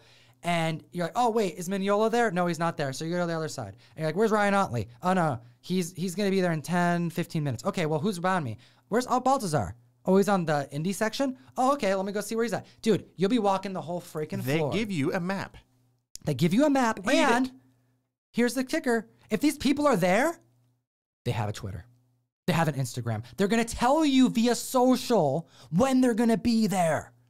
Don't waste your time just showing up I wasted random. my time. I brought a bunch of die comics at my last con. I think it was that 2019 Emerald City. I brought some die books because Kieron Gillen was there. And every day, we went for multiple days. And I passed his booth multiple times every day that I was there. I never saw him once. I don't know if he, he had a table there with, with his name on it. So he was there at some point. I just never saw the man. I Doing panels and stuff. never you got him signed. I wanted my die books signed. You gotta literally go on to I did not social. do that, and that probably would have saved my die books from being unsigned forever. That's what you gotta do, man. You gotta plan it out. Now, I'm gonna give you a tip from the guru. This is something that he said on the mic a few times. Golden Age Guru, the Golden Age Jeff. Guru, Jeff. master of the big boy books. Jeff Itkin. This guy, Overstreet Price Guide Advisor. Brilliant mind. Funny video creator on Instagram, by the way. If you're not following the guru on Insta, you're missing out. This dude a lot, of, lot of did- dad joke kind of stuff, but it's good. It's good dad it's good. jokes. Yeah, he's he's worth a follow, up, duh, because he's part of this crew. So we have a claim sale that we're doing over on his uh, Instagram. We do it every month. We go live for hours. He goes even longer than I go on, and he does ads for it essentially. They're you know? silly. but they're silly ads. He edits himself and stu- doing stuff, and he was doing dad stuff this week at a water park. Oh man, that sounded like it was a billion degrees here, and that would have been great. That was a good idea to go to a water park. Yeah, he took his kids to the water park. You know, they're having fun over there. You know, doing the pool stuff, doing He's the slide stuff. shooting a promo on a water slide. Yeah, he's, he's he's like going down the water slide, talking about his claim sale. Good sale, be there. like, I'm so coming. So it was really fun. But this is something that uh, the guru said on the mic on the podcast. Um, I think it was the last podcast we did, uh, podcast number 42, where we talk about seller's regret. And oh my gosh, the pain still hurts. Make sure to follow that. Make sure to watch that, that podcast and listen to it. SoundCloud, Spotify, Stitcher, and iTunes. And he mentioned that when he goes to a con, he doesn't go to conventions with anything in particular in mind that he's going to buy. Now, granted, he's buying stuff that a lot of us would never buy. Yeah. He's one of those major extreme collectors and dealers. There's a reason why he's on the show. This dude is very knowledgeable. We're lucky to have him on the show. So, so it's a tip from him that when he goes, he's going to see anything and everything. Kind of the opposite of, of what Very Gary said. Which is why I said I agree with Gary Gary, but I also look at it in a different way too. Jeff is like a like a guru, if you will. Like he's got a Zen kind Yes. of Jedi approach. Exactly. Just go calm and let whatever happens happen. Go with the waves. Feel the force, Right. feel it in the room, massage the air. That book. Yeah. Just go for it. Uh, that book. Gonna go that way. Just And that's buy how the books guru does it. with your eyes closed. Just figure it out. Yeah. So, bottom line is have some flexibility, but as Very Gary says, if you're brand new, yeah, go in there with a freaking game plan. Save your time. Jeff has been to like every con ever, so he knows what he's doing. Every con ever. and yeah, if you're new, plan it a little bit first. Oh my goodness, comic fam. This is what we do here on the comic on the Bags and Boards show. You know what we forgot? What do we forget? Super chats. Oh, yeah. Yes. Okay, here we go. Thank you for reminding me, Ryan. You're welcome. Before we forgot again. Oh my gosh, we almost forgot. I want to give a big thank you to members who are doing something they don't have to, but we do uh, a lot of giveaways. We do secure comic books for the fam. We buy you things, and we appreciate you. So I just want to give a big shout out to some members from the last live show who did super chats. If you are doing super chats while we are live today, don't worry, we're not missing it. We're going to give you a shout out on the next live show. Pizza Comic, uh, Plaza Comics. Pizza comics. Pizza Comics. Delicious though. Woody's Comics. Che- Woody's Comic Chest. Saturday Night Comics. Calton's. Co- Katian? Calton's Katian? issues. Oh, Two thank you for two super chats Yeah. there. Um, here, can you read the rest? That's uh, Vika underscore CG, aka Closet Geek. He's been around for quite a while. Nathan Martinez, and some nobody guy called Comics of Bueller. Yeah. I don't know who that guy is. Yeah. But we appreciate all of you. Thank you for uh, donating to the cause. It makes us so we can do more giveaways. Speaking of We got one which, left. We got one left. And it's going to go to. Do you see any? Let's say some hi to members of the chat here. Johnny Boy's over here. I like the. Uh, I don't even know, man. I, I like know. When sucky wrestlers want to charge for picks. Like, nah, hacksaw, I'm good. Is that a real wrestler? Isn't that the guy from. Spider Man? He's not sucky though, man. Like these are all know- people I don't know dude. They're all- wrestlers. dude, here's the thing, man. This is what he does. After you a certain point, you, don't- can't wrestle anymore, so you got to go to. You, got to do it. Yeah, like don't cons. judge, man. The Mighty Morphin Power Rangers crew, That's true. You they're all cool doing people. it too. You know what? If yeah, it's like, and I, I understand that. I understand the funniness of it, but you know, for real though, you got you gotta you gotta pay your dues Right. to get the picture. That's how it goes. You gotta support all the members. But here we go. Um, let's see here. Um, we're looking for amazing. What did I say? Murfinator. Amazing Murfinator.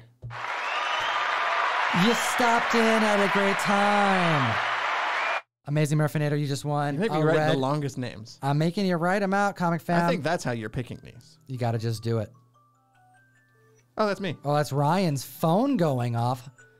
Oh my goodness. That's my. The show's over. The show's over phone. Oh my gosh, comic fam, we appreciate your time today. Thanks for joining us. Um, if you want to know a way that you can support what we do, I want to sh- direct you to comictom101.com. This is the last uh, plug that we're going to give for you here. We're doing some crazy stuff this month. We have our boys, number one from 2006, going in every single box. Ben Templesmith Homelander exclusive. What is up? We also have going in many boxes. We don't know if it's one per yet, so you know it is what it is. We're gonna definitely hook you up with something else. You'll probably get both of the boys variants, or you'll get something else. You know, we're gonna make sure that the value is there for everyone, but we're doing our best to get you each one of these $10 MSRPs, Marvel Voices, number one, Pride issues. It is our very, very talented artist, Edge, doing an America Chavez cover. And I feel like I say this every month, but a lot of these, I don't feel, I don't feel that into it until I look at it in my hands, and I'm like, this pops. Like I really, I saw, I worked at the shop when this Pride book came out, and when Marvel likes to put out a lot of variants for some of these books. It's true. And I don't. I'm not just saying it, but this is my favorite variant that I have seen for this comic. Hot damn, dude. It's I pretty. appreciate that, man. A lot of effort went into this. The colors and are fantastic. You know what? Of all the sketches that she provided, you know, I mean, it means a lot to me to take America Chavez to press. Like, I friggin' love the character. Um, and this was a very important book for us. We did uh, Marvel's Voices in We had a February. a Luke Cage cover. Luke Cage cover. Right. Okay. All right, The She-Hulk. We did the Women of Marvel. We did Women of Marvel. And you know, a $10 MSRP on a variant is very expensive to do. And that was not going to deter us from bringing this book to press. We figured it out. We did it. And uh, it's a lot of value in here. There's new art, but there's also reprints of old stuff in here too. We got Alpha Flight 106, the pages in here too. This is a very important book to me to do. And I'm excited to uh, bring this one to our members. And this isn't the only thing that we're doing this month. Take a look at the uh, big books that we have going out. We have a Boys number one, CGC 9.8 going out. We have a Marvel Team Up number one. That's right. Uh, we have the Spider Man and Human Torch cover and First Appearance of Misty Knight. We have Strange Tales 101 going out. We have Amazing Spider Man 361 going out. These are all going out to members. Very excited about that. Also, we have. Do we have it on here? Let's see. Oh, you can kind of see it back here. But Claire and the Dragons. Yeah. It's kind of hiding back there. But this is the first month that we will be doing a guaranteed second exclusive in every box. Okay, we guarantee one exclusive. We do our best to get a second exclusive in every box, at least routinely. But going forward, there will be a guarantee of two in every box because we are doing an exclusive that is okay for the whole family. That's right, Claire and the Dragons. It's a homage to a Dr. Seuss issue, uh, Return to Dr. Seuss, and it's a a, a book that's going to be good for anyone in the home. What surprises me, as I am uh, not a child, I'm a grown man with no children in my life, uh, no kids, and I'm surprised at how much demand there was for a a child's something in the mail call, like something you could open with your kids, something you could experience with your children. There's a lot of kids that are doing this with their parents. We see Yeah. unboxings of kids. Shout out Noah. yeah, shout out Noah. But here's the thing, man. We're looking at a freaking boys number one. Boys, Yeah, some of these It- are not kid friendly. It literally says mature readers on it. Our box is for adults, okay? We have to be very clear about that. We send Yes. out Walking Dead. We, we try to make it as tasteful as possible. we We're not take sending out out, books like erotic covers from Boom. correct. You know, we're, we're, we're avoiding those types no of things. faithless is going in. Yeah, faithless. Even though Boom has sent us faithless to do things with, I don't know why they sent us faithless, but I got a box of faithless from them, and I'm like, I don't, I Is that is that a boom book? I don't even know who does. It's a Boom. Okay. yeah, yeah, absolutely. Uh, It's Brian not, Azzarello, yeah, not appropriate for everyone to read. dude, it's awesome book. I, I'm sure Very naughty. it's naughty, Yes. very naughty. But you know what? Um, the thing is, though, there's a lot of parents who subscribe to the mystery mail call, Right. and they are looking for ways to get other family members into it. And you know what? If the mail call is, excuse me, if the mail call is something in the month that you find enjoyment and it's even slightly getting your kids inv- excited about comic books, Worth it. it's worth it for us to bring a comic to press that's going to be for them as well. Got to make sure One the, book. the hobby exists in the future by new readers is a big part of that. Investing in the next generation of comic collectors and readers. Thank you. You That's what we're that doing. Much better than I did. It's it's dude, it's the truth behind it. And what we're gonna do is we're bringing three thousand of these to press. What we're gonna do is make sure the nicest copies, the mintiest fresh copies, It's your boy Gem Mint. are going in a bag and board because as it should be. If you're gonna give this to your kid, it's gonna be bagged and boarded. I'm actually going to go do that after we go off the air. I'm going to go prep these books for the mail call. So what we're gonna do, we don't have that many members. So what we're doing is we're over ordering so that we can get the nicest copies to our members. Correct. and then we're gonna release a print count after the fact because it is an exclusive. It's a it's a homage that we have specially made for the mystery mail call, and what doesn't sell, we are going to donate. Cool. So know that when they do get donated, you know when we when we when we do this process, um, we're gonna have a process to mark them so that they're not you know these are mail call exclusives. So we don't want them sold in the aftermarket outside of the box. So what we're gonna do is do like a stamp or something on there, and then we do a donation, and it'll just be like not for resale. But that way, I'll end up doing that, huh? Stamping all Yeah, these. that's- Yeah, that's that's going to be me. That's, okay. gonna- that's that's gonna I'm be here. coming. It's my job now. it's how it's gonna it's just what's Yep. gonna happen, man. But just so you know that there is gonna be a print count that will be published because this is an exclusive. We want to make sure that the collectible is exciting for your kids too. You know, I'm trying to hit all the different check boxes here of enjoyment. Maybe you'll like it. Maybe, you'll like you it know, too. Some kid stuff is kind of fun sometimes. Absolutely. Ex babies. I really want to do an ice cream man homage on a kid's book. Oh, that's How freaking cool would that not be? a good. That's not a kid's book at all. No, that no no no. I want to do an homage though. So it'll be like Claire and the Dragons or something like that, but it'll look like look like an ice cream man book, but it's a kid's book. So.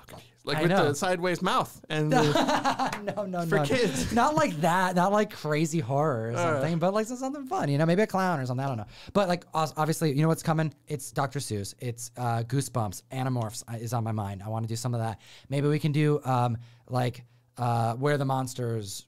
Where the Wild Things Are. Where the wild things are. Thank you you. You know that'd be a really cool book to do as well. Um, obviously, we got Dr. Seuss. One's locked and loaded. It's gonna be really cool. So um, we're gonna have fun with it. Is what I'm saying. But know this: investing in the next gen means not just reading comics throughout the mail call. Whatever we have left over, we will donate. And those donations mean that by joining the mystery mail call, you are also getting comics out there to kids. We are printing 3,000 kids' comics. We intend to get 3,000 kids' comics, fresh comics, new comics, issue number ones out so that kids can read them every damn month. And I'm very proud of that. You know? me too. That's cool to hear. That's I a lot of that. comic I books. didn't know the donation thing. Oh yeah, you know, like That's we're- cool. You know, there's there's different ways that we can distribute these, and um, the main thing is we have to have a process to respect the collectible, respect the mail call fam, and also make sure the print counts and the quality's there for our members who are supporting us and investing in this process. But side note, if we have a few hundred left over, absolutely, we're gonna get them in the hands of children as you know per the right way. So know that's coming, but also know that, hey, we're very excited. We're bringing 3,000 kids' comic books to press every damn month because of this community. Feels good. It feels good. It feels good. But not just that, we couldn't do it without Scout Comics, without Scout Comics making that possible, as well as an update to the mail call as of today with These the are fun. announcement. We have gra- digital graphic novels with a seven a 6.99 MSRP going in every single box starting in July with an exclusive comic Tom exclusive card that 500 members are going to get. We are trying to grow the value every single month, trying to bring the heat, bring in the heat to the comic fan. And I'm going to leave you with this. We teamed up with CBCS this month. Okay. Golden tickets are coming. That's all I got to say. Comic fam, you listen to the Bags and Boards show. We appreciate you. We'll see you very soon. Good night, everyone. Good night. Thanks for being here. Goodbye from down here in our corners. The trick is you got to end the stream a little bit later because it's going to cut it off on YouTube. That's how it works. I don't know how any of this works. I'm just here. I think that was a pretty all right show.